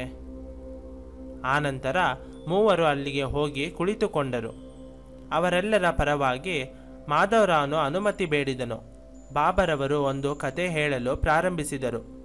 ಅದನ್ನು ಸಾವಧಾನ ಮನಸ್ಸಿನಿಂದ ಕೇಳಿರಿ. ಒಬ್ಬ ಚಂಚಲ ಬುದ್ಧಿಯ ವ್ಯಕ್ತಿ ಇದ್ದನು. ಅವನು ಗೃಹ, ಧನ, ಧಾನ್ಯಗಳಿಂದ ಸಮೃದ್ಧನಾಗಿದ್ದನು. ಅವನಿಗೆ ಶಾರೀರಿಕ ಅಥವಾ ಮಾನಸಿಕವಾದ ಯಾವುದೇ ವ್ಯಾಧಿ ಇರಲಿಲ್ಲ. ಆದರೆ ಅವನು ಅನವಶ್ಯಕವಾದ ಚಿಂತೆಗಳನ್ನು ತನ್ನ ಮೇಲೆ ಹಾಕಿಕೊಂಡಿದ್ದನು. ಅವನು ತನ್ನ ಮೇಲೆ ಅನವಶ್ಯಕವಾದ ಹೊರೆಯನ್ನೇ ಹೊತ್ತಿದ್ದನು ಅವನು ಅಲ್ಲಿ ಇಲ್ಲಿ ಅಶಾಂತಿಯಿಂದ ಅಡ್ಡಾಡುತ್ತಿದ್ದನು. ಕೆಲವು ವೇಳೆ ಅವನು ಭಾರವನ್ನು ಕೆಳಗೆ ಹಾಕುತ್ತಿದ್ದನು. ಕೆಲವು ವೇಳೆ ಮತ್ತೆ ಹೋರುತ್ತಿದ್ದನು. ಅವನ ಮನಸ್ಸು ನಿಶ್ಚಲವಾಗಿರಲಿಲ್ಲ. ಅವನ ಅವಸ್ಥೆಯನ್ನು ನೋಡಿ ಅವನ ಮೇಲೆ ಕರುಣೆ ತೋರಿ ಹೇಳಿದೆನು, ನಿನ್ನ ಶ್ರದ್ಧೆಯನ್ನು ಯಾವುದಾದರೂ ಒಂದು ಜಾಗದಲ್ಲಿಡು. ಈ ರೀತಿ ಅನವಶ್ಯಕವಾಗಿ ಏಕೆ ಸುತ್ತುತ್ತಿರುವೆ? ಒಂದು ಜಾಗದಲ್ಲಿ ಶಾಂತವಾಗಿ ಕುಳಿತುಕೋ. ಈ ಕಥೆಯು ಧರಂಸಿಯ ಮನಸ್ಸಿಗೆ ನಾಟಿತು. ಅದು ಅವನಿಗಾಗಿಯೇ ಕೊಟ್ಟ ಸೂಚನೆಯಾಗಿತ್ತು. ಸಾಕಷ್ಟು ಆಸ್ತಿ ಮತ್ತು ವೈಭವವಿದ್ದರೂ ಕಿಂಚಿತ್ತೂ ಕಾರಣವಿಲ್ಲದಿದ್ದರೂ ಧರಂಸಿಯು ಯಾವಾಗಲೂ ಚಿಂತಿತನಾಗುತ್ತಿದ್ದನು ಮತ್ತು ಅನವಶ್ಯಕವಾಗಿ ಚಿಂತಾಕ್ರಾಂತನಾಗಿರುತ್ತಿದ್ದನು. ಅವನಿಗೆ ಸಾಕಷ್ಟು ಸಂಪತ್ತು ಹಾಗೂ ಗೌರವವಿತ್ತು, ಆದರೆ ಅವನ ಮನಸ್ಸಿಗೆ ಸಮಾಧಾನವಿರಲಿಲ್ಲ. ಅವನು ಸದಾ ಆಳವಾದ, ಕಾಲ್ಪನಿಕ ದುಃಖದಲ್ಲೇ ಮಗ್ನನಾಗಿರುತ್ತಿದ್ದನು. ಸಾಯಿಯ ಮುಖದಿಂದ ಈ ಕಥೆಯನ್ನು ಕೇಳಿ ಸೇಠನು ಪರಮ ವಿಸ್ಮಿತನಾದನು ಇದೇ ನನ್ನ ಮನಸ್ಸಿನ ಅವಸ್ಥೆ ಎಂದು ಯೋಚಿಸಿ ಅವನು ಅತಿ ಗೌರವದಿಂದ ಆಲಿಸಿದನು. ಕಾಕನಿಗೆ ಬೇಗನೆ ಹಿಂತಿರುಗಲು ಅನುಮತಿ ದೊರಕುವುದು ಲಕ್ಷದಲ್ಲಿ ಒಂದು ಬಾರಿಯಷ್ಟು ಅಶಕ್ಯವಾಗಿತ್ತು. ಆದರೆ ಅವನು ಅದನ್ನು ಪಡೆದಾಗ ಧರಂಸಿಯು ಅತಿ ಸಂತುಷ್ಟನಾದನು. ಧರಂಸಿಯ ಆಳವಾದ ಬಯಕೆ ಏನೆಂದರೆ ಕಾಕಾನು ಸಹ ಅವನ ಜೊತೆಯಲ್ಲಿಯೇ ಹಿಂತಿರುಗಬೇಕೆಂಬುವುದು. ಬಾಬರವರು ಅವನು ಹಿಂತಿರುಗಲು ಅನುಮತಿ ನೀಡಿ ಈ ಇಚ್ಛೆಯನ್ನು ಪೂರೈಸಿದರು ಇದು ಸಹ ಸೇಠ್ಜಿಯ ಒಂದು ಷರತ್ತೆಂದೇ ಬಾಬರವರಿಗೆ ಹೇಗೆ ತಿಳಿಯಿತು? ಧರಂಸಿಯು ಆಶ್ಚರ್ಯಕರವಾದ ರೀತಿಯಲ್ಲಿ ಇದು ಸಹ ಸಂತತ್ವದ ಒಂದು ಲಕ್ಷಣವೆಂದು ಒಪ್ಪಿಕೊಂಡಿದ್ದನು. ಎಲ್ಲ ಸಂಶಯಗಳು ನಿವೃತ್ತಿ ಹೊಂದಿದವು. ಸಾಯಿಯು ಸಂತನೆಂಬ ಅಭಿವ್ಯಕ್ತಿಯು ಸ್ಪಷ್ಟವಾಗಿತ್ತು. ಬಾಬರವರು ಅವರವರ ಭಾವಕ್ಕೆ ಅನುಗುಣವಾದ ಅನುಭೂತಿಯನ್ನು ನೀಡುತ್ತಾರೆ. ಯಾವುದೇ ಮಾರ್ಗವನ್ನು ಅನುಸರಿಸಲು ಇಚ್ಛಿಸಿದರೂ ಅದೇ ಮಾರ್ಗದಲ್ಲಿ ಸಹಾಯ ದೊರಕುತ್ತದೆ. ಸಾಯಿಗೆ ಪ್ರತಿಯೊಬ್ಬರ ಅಧಿಕಾರ ಸಂಪತ್ತಿಯೂ ತಿಳಿದಿದೆ. ಅದೇ ಮಾರ್ಗದಲ್ಲಿ ಸಾಧಕರು ಪರಮಾರ್ಥ ಪ್ರಾಪ್ತಿಯನ್ನು ಹೊಂದುತ್ತಾರೆ. ಒಬ್ಬ ಭಕ್ತನು ಭಾವಾರ್ಥಿಯಾಗಿರಲಿ ಅಥವಾ ನಾಟಕೀಯವಾಗಿರಲಿ, ಸಾಯಿಯು ಇಬ್ಬರ ಮೇಲೂ ಸಮತ್ವದಿಂದ ಕೃಪೆ ತೋರುತ್ತಾರೆ. ಈ ಪ್ರೀತಿಯ ತಾಯಿಯು ಇಬ್ಬರ ಮಧ್ಯೆ ಭೇದ ಭಾವ ತೋರಿಸುವುದಿಲ್ಲ ಆನಂತರ ಇಬ್ಬರು ಇನ್ನೇನು ಹೊರಡಬೇಕೆಂದಿರುವಾಗ ಬಾಬರವರು ಕಾಕನಿಂದ ಹದಿನೈದು ರೂಪಾಯಿಗಳನ್ನು ದಕ್ಷಿಣೆಯಾಗಿ ಬೇಡಿದರು ಮತ್ತು ತಾವಾಗಿಯೇ ಕಾಕನಿಗೆ ಹೇಳಿದರು, ಯಾರಾದರೂ ನನಗೆ ಒಂದು ರೂಪಾಯಿ ದಕ್ಷಿಣೆ ನೀಡಿದರೆ ನಾನು ಅವರಿಗೆ ಹಿಂದಕ್ಕೆ ಸರಿಯಾಗಿ ಹತ್ತು ರೂಪಾಯಿಗಳನ್ನು ಕೊಡಬೇಕಾಗುತ್ತದೆ. ನಾನು ಯಾರಿಂದಲೂ ಏನನ್ನು ಪುಕ್ಕಟೆಯಾಗಿ ಸ್ವೀಕರಿಸುವುದಿಲ್ಲ. ನಾನು ಎಲ್ಲರನ್ನೂ ಸಿಕ್ಕ ಸಿಕ್ಕವರನ್ನು ಬೇಡುವುದಿಲ್ಲ. ನಾನು ಕೇವಲ ಫಕೀರನು ತೋರಿಸಿದವರಲ್ಲಿ ಮಾತ್ರ ದಕ್ಷಿಣೆಯನ್ನು ತೆಗೆದುಕೊಳ್ಳುತ್ತೇನೆ. ಫಕೀರನು ಕೇವಲ ಋಣಿಗಳಾಗಿರುವವರನ್ನು ಮಾತ್ರ ಕೇಳುತ್ತಾನೆ. ಕೊಡುವವನು ಕೊಟ್ಟು ಬೀಜಗಳನ್ನು ಬಿತ್ತುತ್ತಾನೆ ಮತ್ತು ಆನಂತರ ಅದರ ಫಲವನ್ನು ಅನುಭವಿಸುತ್ತಾನೆ. ಆಸ್ತಿಯನ್ನು ಕೇವಲ ಧರ್ಮ ಕಾರ್ಯಗಳಿಗೆ ಮಾತ್ರ ಉಪಯೋಗಿಸಬೇಕು. ಆಗಿದ್ದಲ್ಲಿ ಮಾತ್ರ ಅದು ಉಪಕಾರವಾಗುತ್ತದೆ. ಧರ್ಮದಿಂದ ಮಾತ್ರವೇ ನಿಜವಾದ ಜ್ಞಾನವು ದೊರಕುತ್ತದೆ. ಬಹಳ ಕಷ್ಟಪಟ್ಟು ಕೂಡಿಟ್ಟ ಈ ಸಂಪತ್ತು ಕೆಲವು ವೇಳೆ ತಮ್ಮದೇ ಸುಖಕ್ಕಾಗಿ ಉಪಯೋಗಿಸಲ್ಪಡುವುದೆಂದು ಕೆಲವೊಮ್ಮೆ ನಂಬಲಾಗುವುದು. ಅದನ್ನು ಧರ್ಮ ಕಾರ್ಯಕ್ಕೆ ಉಪಯೋಗಿಸದೆ ಅದನ್ನು ವ್ಯರ್ಥಗೊಳಿಸುತ್ತಾರೆ. ಯಾರು ಪೈಸೆ ಪೈಸೆ ಹಣ ಕೂಡಿಸುತ್ತಾ ಕೋಟ್ಯಾಂತರ ರೂಪಾಯಿಗಳನ್ನು ಅಬೂರ್ಧದ ರೀತಿಯಲ್ಲಿ ಜೋಡಿಸುತ್ತಾರೋ ಮತ್ತು ಎಂದಿಗೂ ಆ ಹಣವನ್ನು ವಿಷಯ ವಾಸನೆಗಳ ತೃಪ್ತಿಗಾಗಿ ಉಪಯೋಗಿಸುವುದಿಲ್ಲವೋ ಅವರು ಸುಖಿಯಾಗಿರುತ್ತಾರೆ. ಎಲ್ಲರಿಗೂ ಶ್ರುತಿಯ ಈ ನುಡಿಯು ಪೂರ್ಣವಾಗಿ ತಿಳಿದಿದೆ. ಯಾರು ಕೊಡುವುದಿಲ್ಲವೋ ಅವರು ಸ್ವೀಕರಿಸಲಾರರು. ಈ ಮೊದಲು ನೀನು ಕೊಡದಿದ್ದರೆ ಈಗ ನೀನು ಪಡೆಯುವುದಿಲ್ಲ. ಆದುದರಿಂದಲೇ ಬಾಬರವರು ದಕ್ಷಿಣೆ ಬೇಡಿದರು. ರಾಮಾವತಾರದಲ್ಲಿ ರಘುನಂದನನು ಅಪಾರವಾದ ಸುವರ್ಣ ಸ್ತ್ರೀ ಪ್ರತಿಮೆಗಳನ್ನು ದಾನ ಮಾಡಿ ಕೃಷ್ಣಾವತಾರದಲ್ಲಿ ಹದಿನಾರು ಸಹಸ್ರ ಮಹಿಳೆಯರನ್ನು ಪಡೆದನು. ಭಕ್ತಿ ಜ್ಞಾನ ಮತ್ತು ವೈರಾಗ್ಯಹೀನರಾದ ಭಕ್ತರು ನಿಜವಾಗಿಯೂ ಅತ್ಯಂತ ದೀನರಾಗಿರುವರು. ಅಂಥವರಿಗೆ ಮೊದಲು ವೈರಾಗ್ಯ ಬೋಧಿಸಿ ಅವರಲ್ಲಿಯೇ ಸ್ಥಾಪಿಸಿ ನಂತರ ಭಕ್ತಿ ಜ್ಞಾನಗಳನ್ನು ನೀಡಲಾಗುವುದು. ಬಾಬರವರು ದಕ್ಷಿಣೆಯನ್ನು ಬೇಡಿದಾಗ ಅದು ವೈರಾಗ್ಯದ ಗುರುತು. ಆನಂತರ ಭಕ್ತರನ್ನು ಭಕ್ತಿ ಮಾರ್ಗದಲ್ಲಿ ಕರೆತಂದು ಜ್ಞಾನ ಪ್ರವೀಣರನ್ನಾಗಿ ಮಾಡುತ್ತಾರೆ. ನಾನಾದರೂ ಏನು ಮಾಡುತ್ತೇನೆ? ಒಂದನ್ನು ತೆಗೆದುಕೊಂಡು ಹತ್ತು ಪಟ್ಟು ಕೊಡುತ್ತೇನೆ. ಹಂತ ಹಂತವಾಗಿ ಅವರನ್ನು ಜ್ಞಾನ ಮಾರ್ಗದಲ್ಲಿ ಕರೆತರುತ್ತೇನೆ ಎಂದು ಬಾಬಾ ಹೇಳಿದರು. ಇದರಿಂದ ಧರಂಸಿಯಲ್ಲಿ ಒಂದು ಮಹಾದಾಸೆ ಹುಟ್ಟಿತು. ತಾನಾಗಿಯೇ ಅವನು ಬಾಬರವರ ಕೈಯಲ್ಲಿ ಹದಿನೈದು ರೂಪಾಯಿಗಳನ್ನಿಟ್ಟನು. ತನ್ನ ಇಂದಿನ ನಿರ್ಧಾರವನ್ನು ಪೂರ್ಣವಾಗಿ ಮರೆತು ಹೋದನು. ಈ ರೀತಿ ಇಡೀ ಪ್ರಸಂಗವೇ ಅಪೂರ್ವವಾದುದ್ದಾಯಿತು. ಈ ಹಿಂದೆ ಅನವಶ್ಯಕವಾಗಿ ಬಡಾಯಿ ಕೊಚ್ಚಿಕೊಳ್ಳುತ್ತಿದ್ದೆನೆಂದು ಅವನಿಗೆ ಅನಿಸಿತು. ಅವನು ಖುದ್ದಾಗಿ ಅಲ್ಲಿ ಬಂದುದಕ್ಕೆ ಸಂತಸ ಹೊಂದಿದನು. ಸಂತರು ಯಾವ ರೀತಿ ಇರುತ್ತಾರೆಂಬುದನ್ನು ಅರಿತು ಅನುಭವದಿಂದಾಗಿ ಅವರಲ್ಲಿ ಸ್ನೇಹದಿಂದ ಬಂಧಿಸಲ್ಪಟ್ಟನು. ನಾನು ಈ ನಿರ್ಧಾರವನ್ನು ಮಾಡದೇ ಇದ್ದಲ್ಲಿ ಇಲ್ಲಿಗೆ ನಮಸ್ಕರಿಸಲು ಬರುತ್ತಿರಲಿಲ್ಲ. ಅದು ಅಲ್ಲದೆ ನಾನು ನಾನಾಗಿಯೇ ಬಂದೆ. ಸಂತರ ರೀತಿಗಳು ಅಗಮ್ಯ. ಯಾರ ನಾಲಿಗೆಯ ಮೇಲೆ ಸದಾ ಅಲ್ಲಾ ಮಾಲಿಕ್ ಎಂಬ ಶಬ್ದಗಳು ನಿರಂತರವಾಗಿ ಇರುವುದೋ ಅವರಿಗೆ ಯಾವುದು ತಾನೇ ಅಸಾಧ್ಯ? ನಾನು ಒಬ್ಬ ಸಂತನ ಚಮತ್ಕಾರವನ್ನು ವೀಕ್ಷಿಸಲು ಕಾತರನಾಗಿದ್ದೆನೋ. ನನ್ನ ನಿರ್ಧಾರಗಳು ವ್ಯರ್ಥವಾಗಿದ್ದವು. ನಾನು ಒಬ್ಬ ಮಾನವನಿಗೆ ಸಾಷ್ಟಾಂಗ ಪ್ರಣಾಮ ಮಾಡಿದೆನು. ಮತ್ತು ನಾನಾಗಿಯೇ ಅವನು ಕೇಳದೆಯೇ ದಕ್ಷಿಣೆಯನ್ನು ನೀಡಿದೆನು. ನನ್ನ ಬಡಾಯಿ ಎಲ್ಲವೂ ವ್ಯರ್ಥ. ನಾನಾಗಿಯೇ ನನ್ನ ಶಿರವನ್ನು ಸಾಯಿ ಚರಣಗಳಲ್ಲಿ ಪೂಜ್ಯ ಭಾವದಿಂದ ಇಟ್ಟೆನು. ಇದಕ್ಕಿಂತ ದೊಡ್ಡದಾದ ಅಪೂರ್ವ ಸಂಗತಿಯೋ ಇನ್ನೇನಿರಲು ಸಾಧ್ಯ? ನಾನು ಸಾಯಿಯ ಕುಶಲತೆಯನ್ನು ಹೇಗೆ ವಿವರಿಸಲಿ? ಇದೆಲ್ಲವನ್ನು ಮಾಡುವುದರಲ್ಲಿ ಅವರು ಕೇವಲ ನಿಮಿತ್ತ ಮಾತ್ರವಾಗಿದ್ದರೂ ಸಹ ಹೊರನೋಟಕ್ಕೆ ಅವರು ಯಾವುದಕ್ಕೂ ಅಂಟದಂತೆಯೇ ಇದ್ದರು. ಇದಕ್ಕಿಂತ ಅಚ್ಚರಿ ಮತ್ತೇನು ತಾನೇ ಇರಲು ಸಾಧ್ಯ? ಯಾರಾದರೂ ವಂದಿಸಲಿ ಅಥವಾ ವಂದಿಸದೇ ಇರಲಿ, ಅಥವಾ ಯಾರಾದರೂ ದಕ್ಷಿಣೆ ಕೊಡಲಿ, ಬಿಡಲಿ. ದಯಾಗನ ಮತ್ತು ಆನಂದ ಕಂದನಾದ ಸಾಯಿಯು ಯಾರನ್ನು ಅವಗಣನೆ ಮಾಡುತ್ತಿರಲಿಲ್ಲ. ಅವನನ್ನು ಪೂಜಿಸುವುದರಿಂದ ಆನಂದ ಪಡಲಿಲ್ಲ ಮತ್ತು ಅವಮಾನಿಸಿದಾಗ ಖೇದ ಪಡಲಿಲ್ಲ ಎಲ್ಲಿ ಹರ್ಷವಿಲ್ಲವೋ ಅಲ್ಲಿ ವಿಷಾದವೂ ಇಲ್ಲ. ಅವರು ಇರುವುದು ಪೂರ್ಣವಾದ ದ್ವಂದ್ವರಹಿತವಾದ ಸ್ಥಿತಿ. ಯಾರ ಉದ್ದೇಶ ಏನೇ ಇದ್ದರೂ ಒಮ್ಮೆ ದರ್ಶನ ನೀಡಿದ್ದಲ್ಲಿ ಆ ವ್ಯಕ್ತಿಗೆ ಅವರ ಚರಣಗಳಲ್ಲಿ ಭಕ್ತಿಯು ಹುಟ್ಟುತ್ತಿತ್ತು. ಸಾಯಿಯ ಶಕ್ತಿಯು ಅಷ್ಟು ಅದ್ಭುತವಾಗಿತ್ತು. ಸಾಕಿಷ್ಟು. ಆ ನಂತರ ಉದಿ ಪ್ರಸಾದವನ್ನು ಮತ್ತು ಆಶೀರ್ವಾದವನ್ನು ಪಡೆದು ನಿರ್ವಿವಾದವಾಗಿ ಹಿಂತಿರುಗಿದರು. ಈ ರೀತಿ ಸಾಯಿಯ ಖ್ಯಾತಿ ಅಗಾಧವಾಗಿತ್ತು. ಶಿರಡಿಯಿಂದ ನಿರ್ಗಮಿಸಲು ಬಾಬರವರ ಅನುಮತಿಯ ಅವಶ್ಯಕತೆ ಇತ್ತು. ಅದನ್ನು ಉಲ್ಲಂಘಿಸಿದರೆ ವಿಘ್ನಗಳಿಗೆ ನಿಮಂತ್ರಣ ಕೊಟ್ಟಂತೆಯೇ. ತಮ್ಮದೇ ಇಚ್ಛೆಯಿಂದ ಯಾರಾದರೂ ಹೊರಟಿದ್ದಲ್ಲಿ ಅದರ ಬಗ್ಗೆ ಪಶ್ಚಾತ್ತಾಪ ಪಡುವಂತಿತ್ತು ಮತ್ತು ಖಿನ್ನರಾಗಿರುತ್ತಿದ್ದರು. ಮಾರ್ಗ ಮಧ್ಯದಲ್ಲಿ ದಾರುಣವಾದ ವಿಘ್ನಗಳು ಎದುರಾಗುತ್ತಿದ್ದವು. ಅವುಗಳನ್ನು ನಿವಾರಿಸುವುದು ದುಸ್ತರವಾಗಿತ್ತು. ಈ ರೀತಿ ಶಿರಡಿಯಿಂದ ನಿರ್ಗಮಿಸುವ ಬಗ್ಗೆ ವರ್ಣಿಸುತ್ತಾರೆ. ನನ್ನ ಪರಿಸ್ಥಿತಿಯು ಅದೇ ರೀತಿ ಆಗಿತ್ತು. ನಾನು ಕರೆಸಿಕೊಂಡ ಹೊರತು ಯಾರೂ ಇಲ್ಲಿಗೆ ಬರಲು ಸಾಧ್ಯವಿಲ್ಲ ಎಂದು ಬಾಬಾ ಹೇಳುತ್ತಿದ್ದರು. ನನ್ನ ಇಚ್ಛೆ ಇಲ್ಲದೆ ಯಾರು ತಾನೇ ತನ್ನ ಸರಹದ್ದನ್ನು ದಾಟಲು ಸಾಧ್ಯ? ತಮ್ಮದೇ ಇಚ್ಛೆಯಿಂದ ಯಾರು ತಾನೇ ಶಿರಡಿಗೆ ಬರಬಲ್ಲರು? ಬಂದು ನನ್ನ ದರ್ಶನ ಪಡೆಯಬಲ್ಲರು? ಕೃಪಾಮೂರ್ತಿಯಾದ ಸಾಯಿ ಸಮರ್ಥರ ಹೃದಯದಲ್ಲಿ ಕೃಪೆ ಉದಿಸಿದಾಗ ಮಾತ್ರ ನಾವು ದರ್ಶನಕ್ಕೆ ಬರಬಹುದು. ನಮ್ಮ ಜೀವನ ಅವರ ಅಧೀನದಲ್ಲಿದೆ. ಯಾರ ಬರುವಿಕೆಯ ಅಥವಾ ಹೋಗುವಿಕೆಯ ಬಗ್ಗೆ ಸಾಯಿಯ ಪ್ರಸನ್ನ ಚಿತ್ತವಿಲ್ಲದಿದ್ದರೆ ಅವರು ಹಿಂತಿರುಗಲು ಆಜ್ಞೆಯನ್ನಾಗಲಿ ಉದಿಯ ಪ್ರಸಾದವನ್ನಾಗಲಿ ಕೊಡುತ್ತಿರಲಿಲ್ಲ. ಯಾರಾದರೂ ಅಲ್ಲಿ ಹೋಗಿ ಅಭಿವಾದನ ಮಾಡಿ ಆಜ್ಞಾಪನೆ ಬೇಡಿದಾಗ ಅವರಿಗೆ ಆಶೀರ್ವಚನ ಹಾಗೂ ಉದಿಯ ಪ್ರಸಾದ ನೀಡಿದ್ದಲ್ಲಿ ಅದು ಅವರಿಗೆ ಹಿಂತಿರುಗಲು ಅನುಮತಿ ನೀಡಿದಂತಾಗುತ್ತಿತ್ತು. ಈಗ ನಾನು ಶೋತೃಗಳಿಗೆ ಉದಿಯ ವಿಚಾರವಾಗಿ ಒಂದು ಅದ್ಭುತ ಅನುಭವವನ್ನು ತಿಳಿಸುತ್ತೇನೆ. ಆನಂತರ ನೇವಾಸಕರನ ಭಕ್ತಿಯ ಶಕ್ತಿಯನ್ನು ಹೇಳುತ್ತೇನೆ.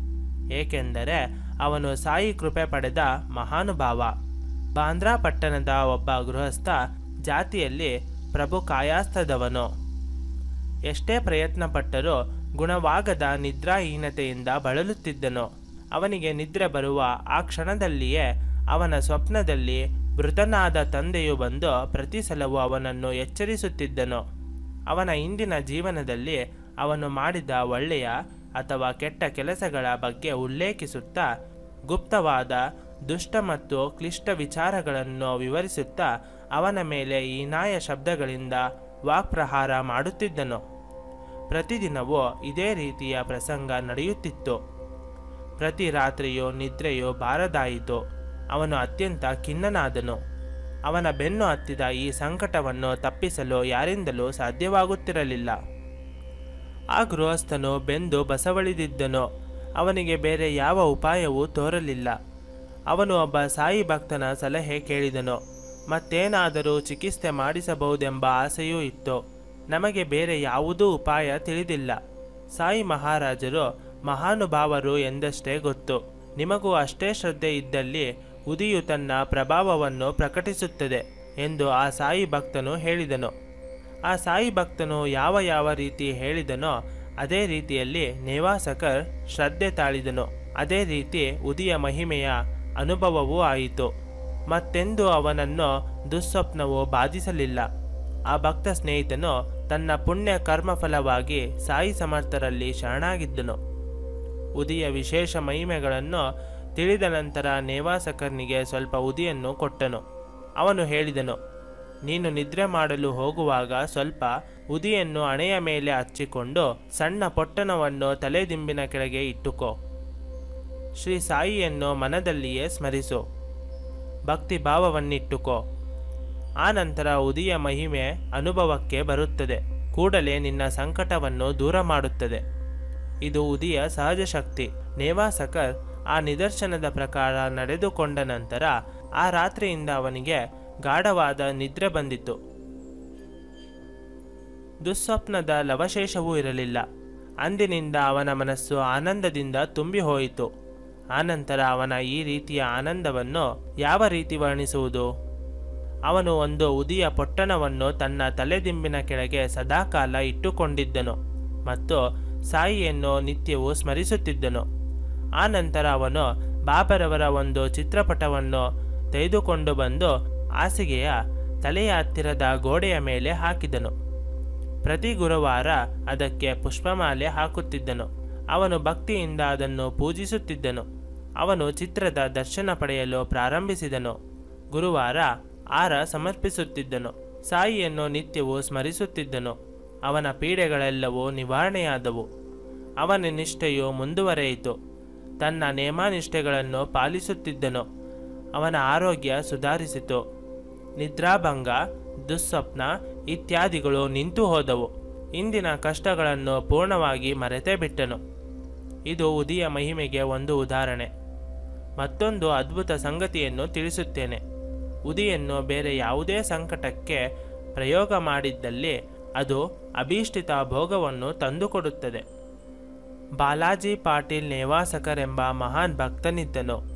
ಅವನು ಅತ್ಯುತ್ತಮವಾದ ಮತ್ತು ನಿಷ್ಕಾಮ ಸೇವೆಯಲ್ಲಿ ತನ್ನನ್ನು ತೊಡಗಿಸಿಕೊಂಡು ತನ್ನ ದೇಹವನ್ನು ಬಾಬರವರಿಗಾಗಿ ಸವೆಸಿದನು. ನೇವಾಸಕರ್ನ ನಿತ್ಯ ಕಾರ್ಯವೇನೆಂದರೆ ಶಿರಡಿಯಲ್ಲಿ ಬಾಬರವರು ನಿತ್ಯ ಓಡಾಡುವ ಮತ್ತು ಲೇಂಡಿಗೆ ಹೋಗಿ ಬರುವ ರಸ್ತೆಗಳೆಲ್ಲವನ್ನು ಮತ್ತು ಸಂಧಿಗೊಂದಿಗಳನ್ನು ಗುಡಿಸುವುದಾಗಿತ್ತು. ಈ ಸೇವೆಯ ಪರಿಪಾಠವು ಅವನ ನಂತರ ರಾಧಾಕೃಷ್ಣ ಬಾಯಿಯಿಂದ ಮುಂದುವರೆಯಿತು. ಇಲ್ಲಿ ರಾಧಾಕೃಷ್ಣ ಬಾಯಿಯ ಬಗ್ಗೆ ಟಿಪ್ಪಣಿಯಲ್ಲಿ ನಮೂದಿಸಲಾಗಿದೆ. ಈಗ ನಾನು ಅದನ್ನು ಪಠಿಸುತ್ತೇನೆ. ತದನಂತರ ಸಚ್ಚರಿತೆಯನ್ನು ಮುಂದುವರಿಸೋಣ. ಟಿಪ್ಪಣಿಯ ಭಾಗ ಹೇಗಿದೆ. ಈ ಮಹಿಳೆಯು ಜಾತಿಯಲ್ಲಿ ದೇಶಸ್ಥ ಬ್ರಾಹ್ಮಣಳು. ಅವಳ ನಿಜವಾದ ಹೆಸರು ಸುಂದರಾಬಾಯಿ ಕ್ಷೀರಸಾಗರ್. ಆದರೆ ಅವಳು ಯಾವಾಗಲಾದರೂ ಯಾರನ್ನಾದರೂ ಕರೆಯಬೇಕಾದರೆ ರಾಧಾಕೃಷ್ಣ ಎಂದು ಕರೆಯುತ್ತಿದ್ದಳು. ಅದರಿಂದ ಅವಳಿಗೆ ರಾಧಾಕೃಷ್ಣಬಾಯಿ ಎಂದು ಕರೆಯುತ್ತಿದ್ದರು. ಅವಳು ಸದಾ ತನ್ನ ಹತ್ತಿರ ಇತ್ತಳೆಯ ಒಂದು ಬಾಲಕೃಷ್ಣನ ಮೂರ್ತಿಯನ್ನು ಇಟ್ಟುಕೊಂಡಿರುತ್ತಿದ್ದಳು. ಅವಳು ಸ್ನಾನ ಮಾಡುವಾಗ, ಊಟ ಮಾಡುವಾಗ, ನಿದ್ರೆ ಮಾಡುವಾಗ ಮತ್ತು ಯಾವಾಗಲೂ ಅದನ್ನು ತನ್ನ ಹತ್ತಿರ ಇಟ್ಟುಕೊಂಡಿರುತ್ತಿದ್ದಳು.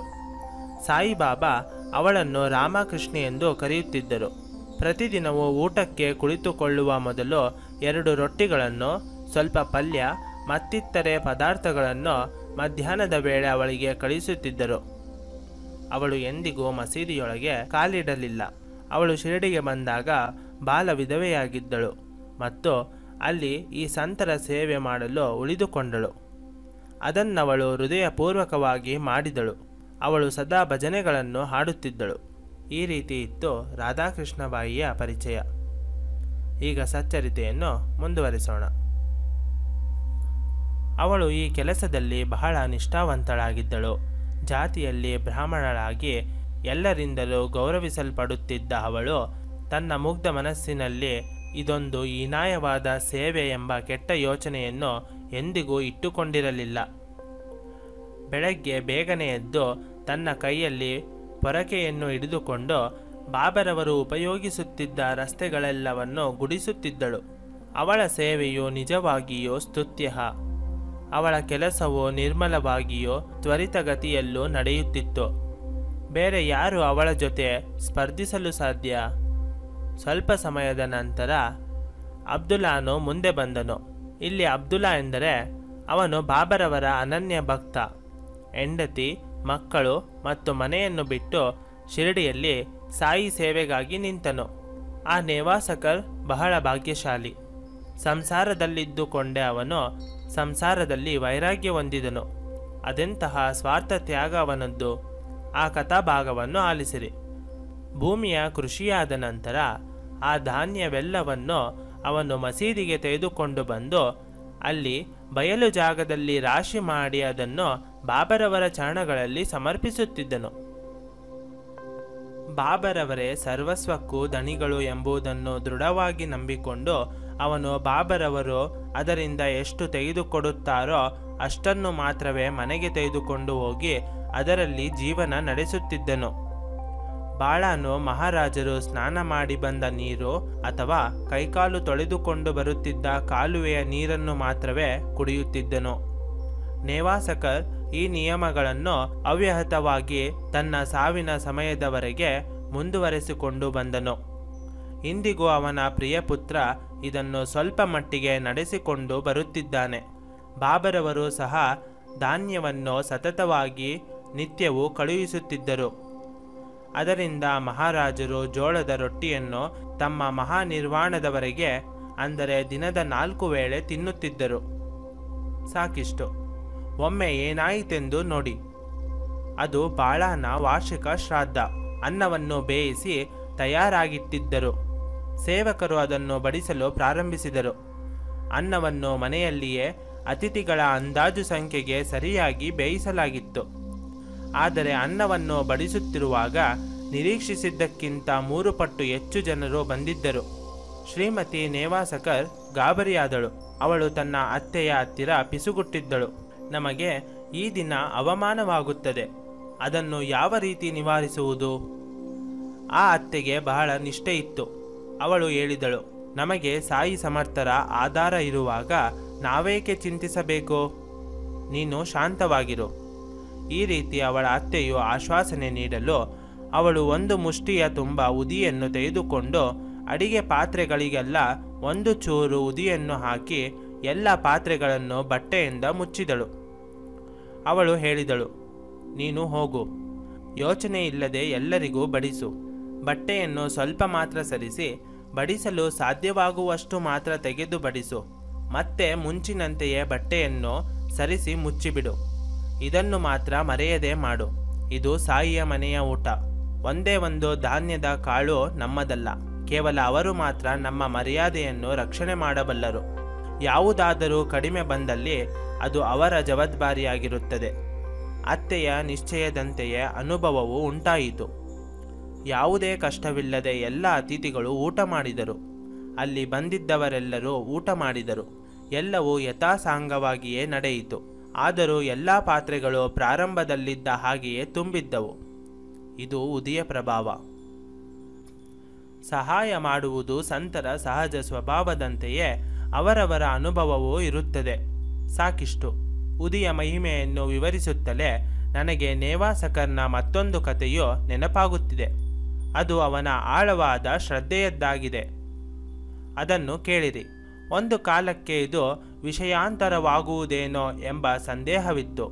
ಅದೇನೇ ಇರಲಿ, ಪ್ರಸಂಗಾನುಸಾರವಾಗಿ ಅದನ್ನು ಹೇಳಬೇಕೆಂದು ನನಗೆ ಅನಿಸಿತು.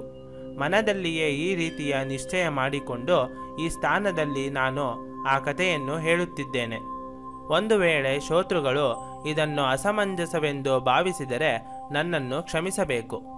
ಒಮ್ಮೆ ಶಿರಡಿಯ ನಿವಾಸಿಯಾದ ರಘು ಪಾಟೀಲನು ನೇವಾಸಗೆ ಅತಿಥಿಯಾಗಿ ಹೋದನು ಮತ್ತು ನೇವಾಸಕರ್ನ ಮನೆಯಲ್ಲಿ ಉಳಿದುಕೊಂಡನು. ಒಂದು ರಾತ್ರಿ ಹಸುಗಳನ್ನು ನೆಲದ ಮೇಲೆ ಒಡೆದಿದ್ದ ಕಬ್ಬಿಣದ ಗೂಟಕ್ಕೆ ಗಟ್ಟಿಯಾಗಿ ಹಗ್ಗದಿಂದ ಕಟ್ಟಲಾಗಿತ್ತು. ಆಗ ಅಕಸ್ಮಾತಾಗಿ ಆ ಕೊಟ್ಟಿಗೆಗೆ ಒಂದು ವಿಷಪೂರಿತವಾದ ಸರ್ಪವು ಬುಸುಗುಟ್ಟುತ್ತಾ ಪ್ರವೇಶಿಸಿತು. ಅಂತಹ ಪ್ರಸಂಗವನ್ನು ನೋಡಿದ ಪ್ರತಿಯೊಬ್ಬರೂ ವಿಸ್ಮಯದಿಂದ ಮೂಕರಾದರು. ಆಗ ಹಾವು ತನ್ನ ಎಡೆಯನ್ನು ಬಿಚ್ಚಿ ಉದ್ದವಾಗಿ ಕುಳಿತಿತ್ತು. ಹಸುಗಳು ಗಡಿಬಿಡಿಯಿಂದ ಗುರ್ ಎನ್ನತೊಡಗಿ ಹೊರಗೆ ಹೋಗಲು ಚಡಪಡಿಸಿದವು. ನೇವಾಸಕರ್ನು ಸದೃಢವಾಗಿ ಸಾಯಿಯವರೇ ಅಲ್ಲಿ ಪ್ರಕಟಗೊಂಡಿದ್ದಾರೆಂದು ನಂಬಿದ್ದನು. ಈಗ ಹಸುಗಳನ್ನು ಬಿಚ್ಚಿ ಬಿಡುವುದಲ್ಲದೆ ಅನ್ಯ ಉಪಾಯವೇ ಇರಲಿಲ್ಲ. ಅವು ಏನಾದರೂ ಹಾವಿನ ಮೇಲೆ ಹೆಜ್ಜೆ ಇಟ್ಟಲ್ಲಿ ದೊಡ್ಡ ಅನಾಹುತವೇ ನಡೆದು ಹೋಗುತ್ತಿತ್ತು ನೇವಾಸಕರ್ನು ಆವನ್ನು ದೂರದಿಂದಲೇ ನೋಡುತ್ತಲೇ ಅತ್ಯಂತ ಹರ್ಷಿತನಾದನು ಅವನ ಸರ್ವಾಂಗಗಳು ಪುಲಕಿತವಾದವು. ಅವನು ಸಾಷ್ಟಾಂಗ ಪ್ರಣಾಮ ಮಾಡಿದನು. ಅವನು ಹೇಳಿದನು, ಇದು ಸಾಯಿಯ ಕೃಪಾದೃಷ್ಟಿ. ಸರ್ಪದ ರೂಪದಲ್ಲಿ ನಮ್ಮನ್ನು ಭೇಟಿಯಾಗಲು ಬಂದಿದ್ದಾರೆ. ಅವನು ಹಾವಿಗಾಗಿ ಒಂದು ಬಟ್ಟಲಿನ ತುಂಬ ಹಾಲನ್ನು ತೆಗೆದುಕೊಂಡು ಬಂದನು. ಬಾಳಾಜಿಯ ಮನೋವೃತ್ತಿಯು ಅದೆಷ್ಟು ವಿಚಿತ್ರ. ಅವನಿಗೆ ಅಣು ಮಾತ್ರವೂ ಭೀತಿ ಇರಲಿಲ್ಲ. ಅವನು ಹಾವಿಗೆ ಏನು ಹೇಳಿದನೆಂದು ಶೋತೃಗಳು ಸಾವಧಾನದಿಂದ ಕೇಳಬೇಕು. ಏಕೆ ಬಾಬಾ, ಅದೇಕೆ ಬುಸುಗುಟ್ಟುತ್ತಾ ಶಬ್ದ ಮಾಡುತ್ತಿರುವೆ? ನೀನು ನಮ್ಮನ್ನೇಕೆ ಎದುರಿಸುತ್ತಿರುವೆ? ಈಗ ಈ ಹಾಲಿನ ಬಟ್ಟಲಿನಿಂದ ಹಾಲನ್ನು ಶಾಂತಿಯಿಂದ ಕುಡಿ. ಒಂದು ಬಟ್ಟಲು ಹೇಗೆ ಸಾಕಾಗುತ್ತದೆ? ಈ ರೀತಿ ಆಲೋಚಿಸಿ ಒಂದು ದೊಡ್ಡ ಪಾತ್ರೆಯ ತುಂಬ ಹಾಲನ್ನು ತಂದು ಹಾವಿನ ಮುಂದೆ ನಿರ್ಭಯನಾಗಿ ಇಟ್ಟನು. ಭಯವು ಕೇವಲ ಮನಸ್ಸಿನಲ್ಲಿದೆ. ಹಾಲನ್ನು ಹಾವಿನ ಹತ್ತಿರ ಇಟ್ಟ ಮೇಲೆ ಅವನು ತನ್ನ ಹಿಂದಿನ ಜಾಗದಲ್ಲಿ ಕುಳಿತನು. ಅದು ದೂರವೂ ಇಲ್ಲವೇ, ಹತ್ತಿರವೂ ಇಲ್ಲದೆ ಇತ್ತು. ಅವನ ಮುಖದಲ್ಲಿ ಹಾವಿನ ಬಗ್ಗೆ ಅಚ್ಚರಿ ಇತ್ತು. ಸರ್ಪದ ಆಗಮನವೇ ಭೀತಿಪ್ರದವಾದದ್ದು. ಎಲ್ಲರೂ ಒಂದೇ ರೀತಿ ಯೋಚಿಸುವುದಿಲ್ಲ. ಬೇರೆ ಎಲ್ಲರೂ ಭಯಭೀತರಾಗಿದ್ದು ಯಾವ ರೀತಿ ಅಪಾಯವನ್ನು ತಪ್ಪಿಸಬಹುದೆಂದು ಯೋಚಿಸುತ್ತಿದ್ದರು. ಅವರು ಹೊರಗೆ ಹೋದರೂ ಅಪಾಯವಿತ್ತು. ಆ ಹಾವು ಮನೆಯ ಒಳಗೆ ನುಗ್ಗಿದ್ದರೆ ಅದನ್ನು ಹೊರಗೆ ತೆಗೆಯುವುದು ಇನ್ನೂ ಕಷ್ಟವಾಗುತ್ತಿತ್ತು. ಅವರೆಲ್ಲರೂ ನೋಡುತ್ತಾ ಕುಳಿತರು. ಅಲ್ಲಿ ಆ ಸರ್ಪವು ತೃಪ್ತಿಯಾಗುವಷ್ಟು ಹಾಲನ್ನು ಸ್ವೀಕರಿಸಿತು. ಯಾರ ಗಮನಕ್ಕೂ ಬಾರದಂತೆ ಅದು ಹಾಗೆಯೇ ಮಾಯವಾಯಿತು. ಸಕಲರು ಆಶ್ಚರ್ಯಚಕಿತರಾದರು. ಆ ನಂತರ ಇಡೀ ಕೊಟ್ಟಿಗೆಯನ್ನು ಹುಡುಕಿದರು. ಆದರೆ ಅದರ ಕುರುವು ಇರಲಿಲ್ಲ. ಬಹುತೇಕ ಜನರು ಶಾಂತಚಿತ್ತರಾದರು. ಆದರೆ ನೇವಾಸಕರನ್ನು ಮಾತ್ರ ಚಡಪಡಿಸುತ್ತಿದ್ದನು. ಅದು ಕೊಟ್ಟಿಗೆಯನ್ನು ಪ್ರವೇಶಿಸಿದ ರೀತಿಯನ್ನು ನೋಡಿದ ಹಾಗೆಯೇ ಅದು ಹೊರಗೆ ಓದುದನ್ನು ನೋಡಿದ್ದರೆ ಅವನಿಗೆ ತೃಪ್ತಿಯಾಗುತ್ತಿತ್ತು. ಅದರಿಂದ ಮನಸ್ಸು ಉದ್ವಿಗ್ನಗೊಂಡಿತು. ಬಾಳಾನಿಗೆ ಇಬ್ಬರು ಪತ್ನಿಯರು ಮತ್ತು ಚಿಕ್ಕ ಮಕ್ಕಳಿದ್ದರು. ಕೆಲವು ಸಲ ಅವರು ಸಾಯಿ ದರ್ಶನಕ್ಕೆಂದು ನೇವಾಸದಿಂದ ಬರುತ್ತಿದ್ದರು. ಬಾಬರವರು ಅವರಿಬ್ಬರಿಗೂ ಸೀರೆ ಮತ್ತು ಲವಿಕೆ ಕಣಗಳನ್ನು ಕೊಂಡುಕೊಂಡು ಆಶೀರ್ವಾದ ಪೂರಕವಾಗಿ ಕೊಡುತ್ತಿದ್ದರು. ಹೀಗಿದ್ದ ಭಕ್ತ ಬಾಳಾಜಿಯು. ಸಚ್ಚರಿತೆಯ ಮಾರ್ಗವು ಬಹಳ ಸರಳ. ಎಲ್ಲಿ ಓದಿದರೂ ಅದು ದ್ವಾರಕಾಮಾಯಿಯಾಗುತ್ತದೆ ಮತ್ತು ಅಲ್ಲಿ ಖಂಡಿತವಾಗಿಯೂ ಸಾಯಿಯು ಪ್ರಕಟಗೊಳ್ಳುತ್ತಾರೆ. ಅಲ್ಲಿಯೇ ಗೋದಾವರಿ ನದಿಯ ತೀರಗಳಿವೆ. ಹತ್ತಿರದಲ್ಲೇ ಯಾತ್ರಾಸ್ಥಳವಾದ ಶಿರಡಿಯೂ ಇದೆ. ಅಲ್ಲಿಯೇ ಸಾಯಿಯು ದುನಿಯ ಸಹಿತ ನೆನೆದೊಡನೆ ಕಷ್ಟಗಳನ್ನೆಲ್ಲ ದೂರ ಮಾಡುತ್ತಾರೆ. ಎಲ್ಲಿ ಸಚ್ಚರಿತೆಯ ನಿತ್ಯ ಪಾರಾಯಣ ನಡೆಯುವುದೋ ಅಲ್ಲಿ ಸಾಯಿಯು ಸದಾ ನೆಲೆಸುತ್ತಾರೆ. ಸಚ್ಚರಿತೆಯನ್ನು ಪೂರ್ಣ ಶ್ರದ್ಧೆಯಿಂದ ಮತ್ತೆ ಮತ್ತೆ ಓದಿದ್ದಲ್ಲಿ ಅದು ಅವನನ್ನು ಎಲ್ಲ ರೀತಿಯಲ್ಲಿಯೂ ಪ್ರಸನ್ನಗೊಳಿಸುತ್ತದೆ. ಸ್ವಾನಂದಗನನಾದ ಸಾಯಿಯನ್ನು ಸ್ಮರಿಸಿದರೆ, ಅವನ ನಾಮವನ್ನು ಅನುದಿನವೂ ಜಪಿಸಿದರೆ, ಇತರೆ ಜಪ, ತಪ, ಸಾಧನೆಗಳಾಗಲಿ ಧ್ಯಾನ, ಧಾರಣೆ ಮತ್ತಿತರ ಧ್ಯಾನ ಮಾರ್ಗವಾಗಲಿ ಬೇಕಾಗುವುದಿಲ್ಲ. ಸಾಯಿ ಚರಣಗಳಲ್ಲಿ ಪ್ರೀತಿ ಇಟ್ಟು ಯಾರು ಸಾಯಿಯ ವಿಭೂತಿಯನ್ನು ನಿತ್ಯವೂ ಸೇವಿಸುತ್ತಾರೋ ಅವರು ತಾವು ಇಚ್ಛೆ ಪಟ್ಟಿದ್ದೆಲ್ಲವನ್ನು ಪಡೆಯುತ್ತಾರೆ. ಧರ್ಮ, ಅರ್ಥ, ಕಾಮ ಮತ್ತು ಮೋಕ್ಷವೆಂಬ ನಾಲ್ಕು ಪುರುಷಾರ್ಥಗಳನ್ನು ಪಡೆದು ಕೃತಾರ್ಥರಾಗುತ್ತಾರೆ. ಅವರಿಗೆ ಇವೆಲ್ಲದರ ಗೂಢಾರ್ಥಗಳು ಪ್ರಕಟವಾಗುತ್ತದೆ. ಮತ್ತು ಸ್ವಾರ್ಥ ಹಾಗೂ ಪರಮಾರ್ಥ ಇವೆರಡನ್ನೂ ಪಡೆಯುತ್ತಾರೆ. ಉದಿಯನ್ನು ಧರಿಸುವುದರಿಂದ ಮಹಾಪಾಪಾದಿ ಪ್ರಬಲ ಪಾಪಗಳು ಸಕಲ ಉಪಪಾತಕಗಳೆಲ್ಲವೂ ಪೂರ್ಣವಾಗಿ ನಿರ್ಮೂಲವಾಗುತ್ತವೆ ಮತ್ತು ಅವನು ಒಳಗೂ ಹೊರಗೂ ನಿರ್ಮೂಲನಾಗುತ್ತಾನೆ. ವಿಭೂತಿ ಧಾರಣೆಯ ಈ ಮಹಿಮೆಯನ್ನು ಭಕ್ತರು ಬಲ್ಲರು. ಆದರೆ ನಾನು ಶೋತೃಗಳ ಇದಕ್ಕಾಗಿ ಎಲ್ಲವನ್ನು ದೀರ್ಘವಾಗಿ ನಿರೂಪಿಸುತ್ತೇನೆ. ನಾನು ಈ ವಿವರಣೆಯನ್ನು ದೀರ್ಘವನ್ನಾಗಿ ಮಾಡಿದ್ದೇನೆ ಎಂದು ಹೇಳುವುದು ಸರಿಯಲ್ಲ. ಏಕೆಂದರೆ ಈ ಮಹಿಮೆಯ ಯಥಾರ್ಥ ನನಗೇನೆ ಗೊತ್ತಿಲ್ಲ. ಆದರೂ ಶೋತೃಗಳ ಹಿತಕ್ಕಾಗಿ ನಾನು ಎಲ್ಲವನ್ನು ಸಂಕಲನೆ ಮಾಡಿ ನಿರೂಪಿಸುತ್ತೇನೆ. ಆದ್ದರಿಂದ ಶೋತೃಗಳಲ್ಲಿ ನನ್ನ ಒಂದೇ ಒಂದು ಪ್ರಾರ್ಥನೆ. ಸಾಯಿ ಚರಣಗಳಲ್ಲಿ ವಂದಿಸಿ, ಉದಿಯ ಮಹತ್ವವನ್ನು ನೀವೇ ಅನುಭವಿಸಿ. ಕೊನೆಯ ಪಕ್ಷ ಇಷ್ಟರ ಮಟ್ಟಿಗಾದರೂ ನನ್ನ ಮಾತುಗಳನ್ನು ಕೇಳಿರಿ ಇಲ್ಲಿ ಯಾವುದೇ ಸಂಶಯಕ್ಕಾಗಲಿ, ತರ್ಕಕ್ಕಾಗಲಿ ಅವಕಾಶವಿಲ್ಲ. ಪೂಜ್ಯವಾದ ಭಾವನೆ ಇರಬೇಕಷ್ಟೆ. ಚಂಚಲ ಮನಸ್ಸಿನ ಅವಶ್ಯಕತೆ ಇಲ್ಲ. ಕೇವಲ ಪರಮ ಶ್ರದ್ಧಾಳುವಾಗಿರಬೇಕಷ್ಟೆ. ತಾರ್ಕಿಕರು ವಾದೋನ್ಮಕರಾದವರು ಮತ್ತು ಶಂಕೆಯುಳ್ಳವರು ಶ್ರದ್ಧಾವಿಹೀನರಾಗಿದ್ದು, ಸಂತರ ಸಮ್ಯಕ್ ಜ್ಞಾನವನ್ನು ಸಂಪಾದಿಸಲಾರದವರಾಗಿದ್ದಾರೆ. ಕೇವಲ ಶುದ್ಧ ಭಕ್ತರು ಮಾತ್ರ ಸಾಯಿ ಮಹಾತ್ಮೆಯ ಅನುಭವವನ್ನು ಪಡೆಯಬಲ್ಲರು. ಕಥೆಯಲ್ಲಿ ಏನಾದರೂ ಬಿಟ್ಟು ಹೋಗಿದ್ದರೋ, ಎಲ್ಲ ಸೇರಿಕೊಂಡಿದ್ದರೋ ಅದೆಲ್ಲವೂ ಸಾಯಿ ಇಚ್ಛೆಯಿಂದ ಆದದ್ದು ಎಂದು ವಿಶ್ವಾಸವಿಡಿ. ಮತ್ತು ಸಾಯಿ ಸಚ್ಚರಿತೆಯನ್ನು ದೋಷವೆಣಿಸದೆ ಪಠಿಸಿರಿ. ಈ ರೀತಿ ಸಾಯಿ ಪರಮ ಕರುಣ ಮತ್ತು ಪ್ರೇಮಮೂರ್ತಿಯು ಅವರ ಸಚ್ಚರಿತೆಯನ್ನು ಆಸಕ್ತಿಯಿಂದ ಓದಿದವರ ಮನದಲ್ಲಿ ಮೂಡುತ್ತಾರೆ. ಹಾಗಾಗಿ ಅವರ ಸ್ಮರಣೆ ನಿರಂತರವಾಗಿರುವುದು. ಗೋವಾ ಇರುವುದೆಲ್ಲಿ? ಶಿರಡಿಯಲ್ಲಿ. ಅಲ್ಲಿ ಒಂದು ಕಳ್ಳತನ ಯಾವ ರೀತಿ ನಡೆಯಿತೆಂಬುದನ್ನು ಸಾಯಿಯು ಬಾಯಿ ಬಿಟ್ಟು ಹೇಳಿದರು. ಅದನ್ನು ಕೇಳಿದ ಶ್ರೋತೃಗಳು ಸಂತಸ ಪಡುತ್ತಾರೆ ಅದನ್ನು ಮುಂದಿನ ಅಧ್ಯಾಯದಲ್ಲಿ ಹೇಳಿದೆ. ಆದುದರಿಂದ ಹೇಮದ ಪಂತನು ತನ್ನ ಶಿರವನ್ನು ಸಾಯಿಯ ಚರಣಗಳಲ್ಲಿ ಇಟ್ಟು ಮನಪೂರ್ವಕವಾಗಿ ಶರಣಾಗಿದ್ದಾನೆ. ಅವನು ಹೇಳುವುದನ್ನು ಶ್ರೋತೃಗಳು ಆದರಪೂರ್ವಕವಾಗಿ ಕೇಳಲು ಸಿದ್ಧರಾಗಿರುವಂತೆ ಅತ್ಯಂತ ವಿನಯದಿಂದ ಪ್ರಾರ್ಥಿಸುತ್ತಾನೆ. ಎಲ್ಲರಿಗೂ ಶುಭವಾಗಲಿ. ಸಂತರು ಮತ್ತು ಸಜ್ಜನರಿಂದ ಪ್ರೇರಿತನಾದ ಭಕ್ತ ಹೇಮದ ಪಂಥನು ರಚಿಸಿದ ಶ್ರೀ ಸಾಯಿ ಸಮರ್ಥ ಸಚ್ಚರಿತೆಯ ಸಂಶಯ ಮತ್ತು ತಪ್ಪು ಗ್ರಹಿಕೆಗಳ ನಿವಾರಣೆ ಹಾಗೂ ವಿಭೂತಿಯ ವೈಭವ. ಎಂಬ ಮೂವತ್ತೈದನೇ ಅಧ್ಯಾಯವು ಇಲ್ಲಿಗೆ ಮುಗಿಯಿತು. ಶ್ರೀ ಸಮರ್ಥ ಸದ್ಗುರು ಸಾಯಿನಾಥರ ಚರಣಗಳಿಗೆ ಸಮರ್ಪಣವಾಗಲಿ. ಮುಂದಿನ ಭಾಗ ಟಿಪ್ಪಣಿ. ಟಿಪ್ಪಣಿಯನ್ನು ನಾನು ಮುಂದೂಡುತ್ತಿದ್ದೇನೆ. ಆದರೆ ಟಿಪ್ಪಣಿಯು ನಿಮ್ಮೆಲ್ಲರಿಗೂ ದೊರೆಯಲಿದೆ. ಇಚ್ಛೆಪಟ್ಟಲ್ಲಿ ವಿಡಿಯೋವನ್ನು ವಿರಾಮಿಸಿ ಟಿಪ್ಪಣಿಯನ್ನು ಪಠಿಸಬಹುದು. ಈಗ ನೀವು ಪರದೆ ಮೇಲೆ ನೋಡುತ್ತಿರುವುದು ಮೂವತ್ತೈದನೇ ಅಧ್ಯಾಯದ ಸಂಪೂರ್ಣ ಅರ್ಥಗರ್ಭಿತವುಳ್ಳ ಚಿತ್ರಪಟು. ಇಲ್ಲಿಗೆ ಮೂವತ್ತೈದನೇ ಅಧ್ಯಾಯವು ಸಂಪೂರ್ಣಗೊಂಡಿದೆ ಧನ್ಯವಾದಗಳು ಓಂ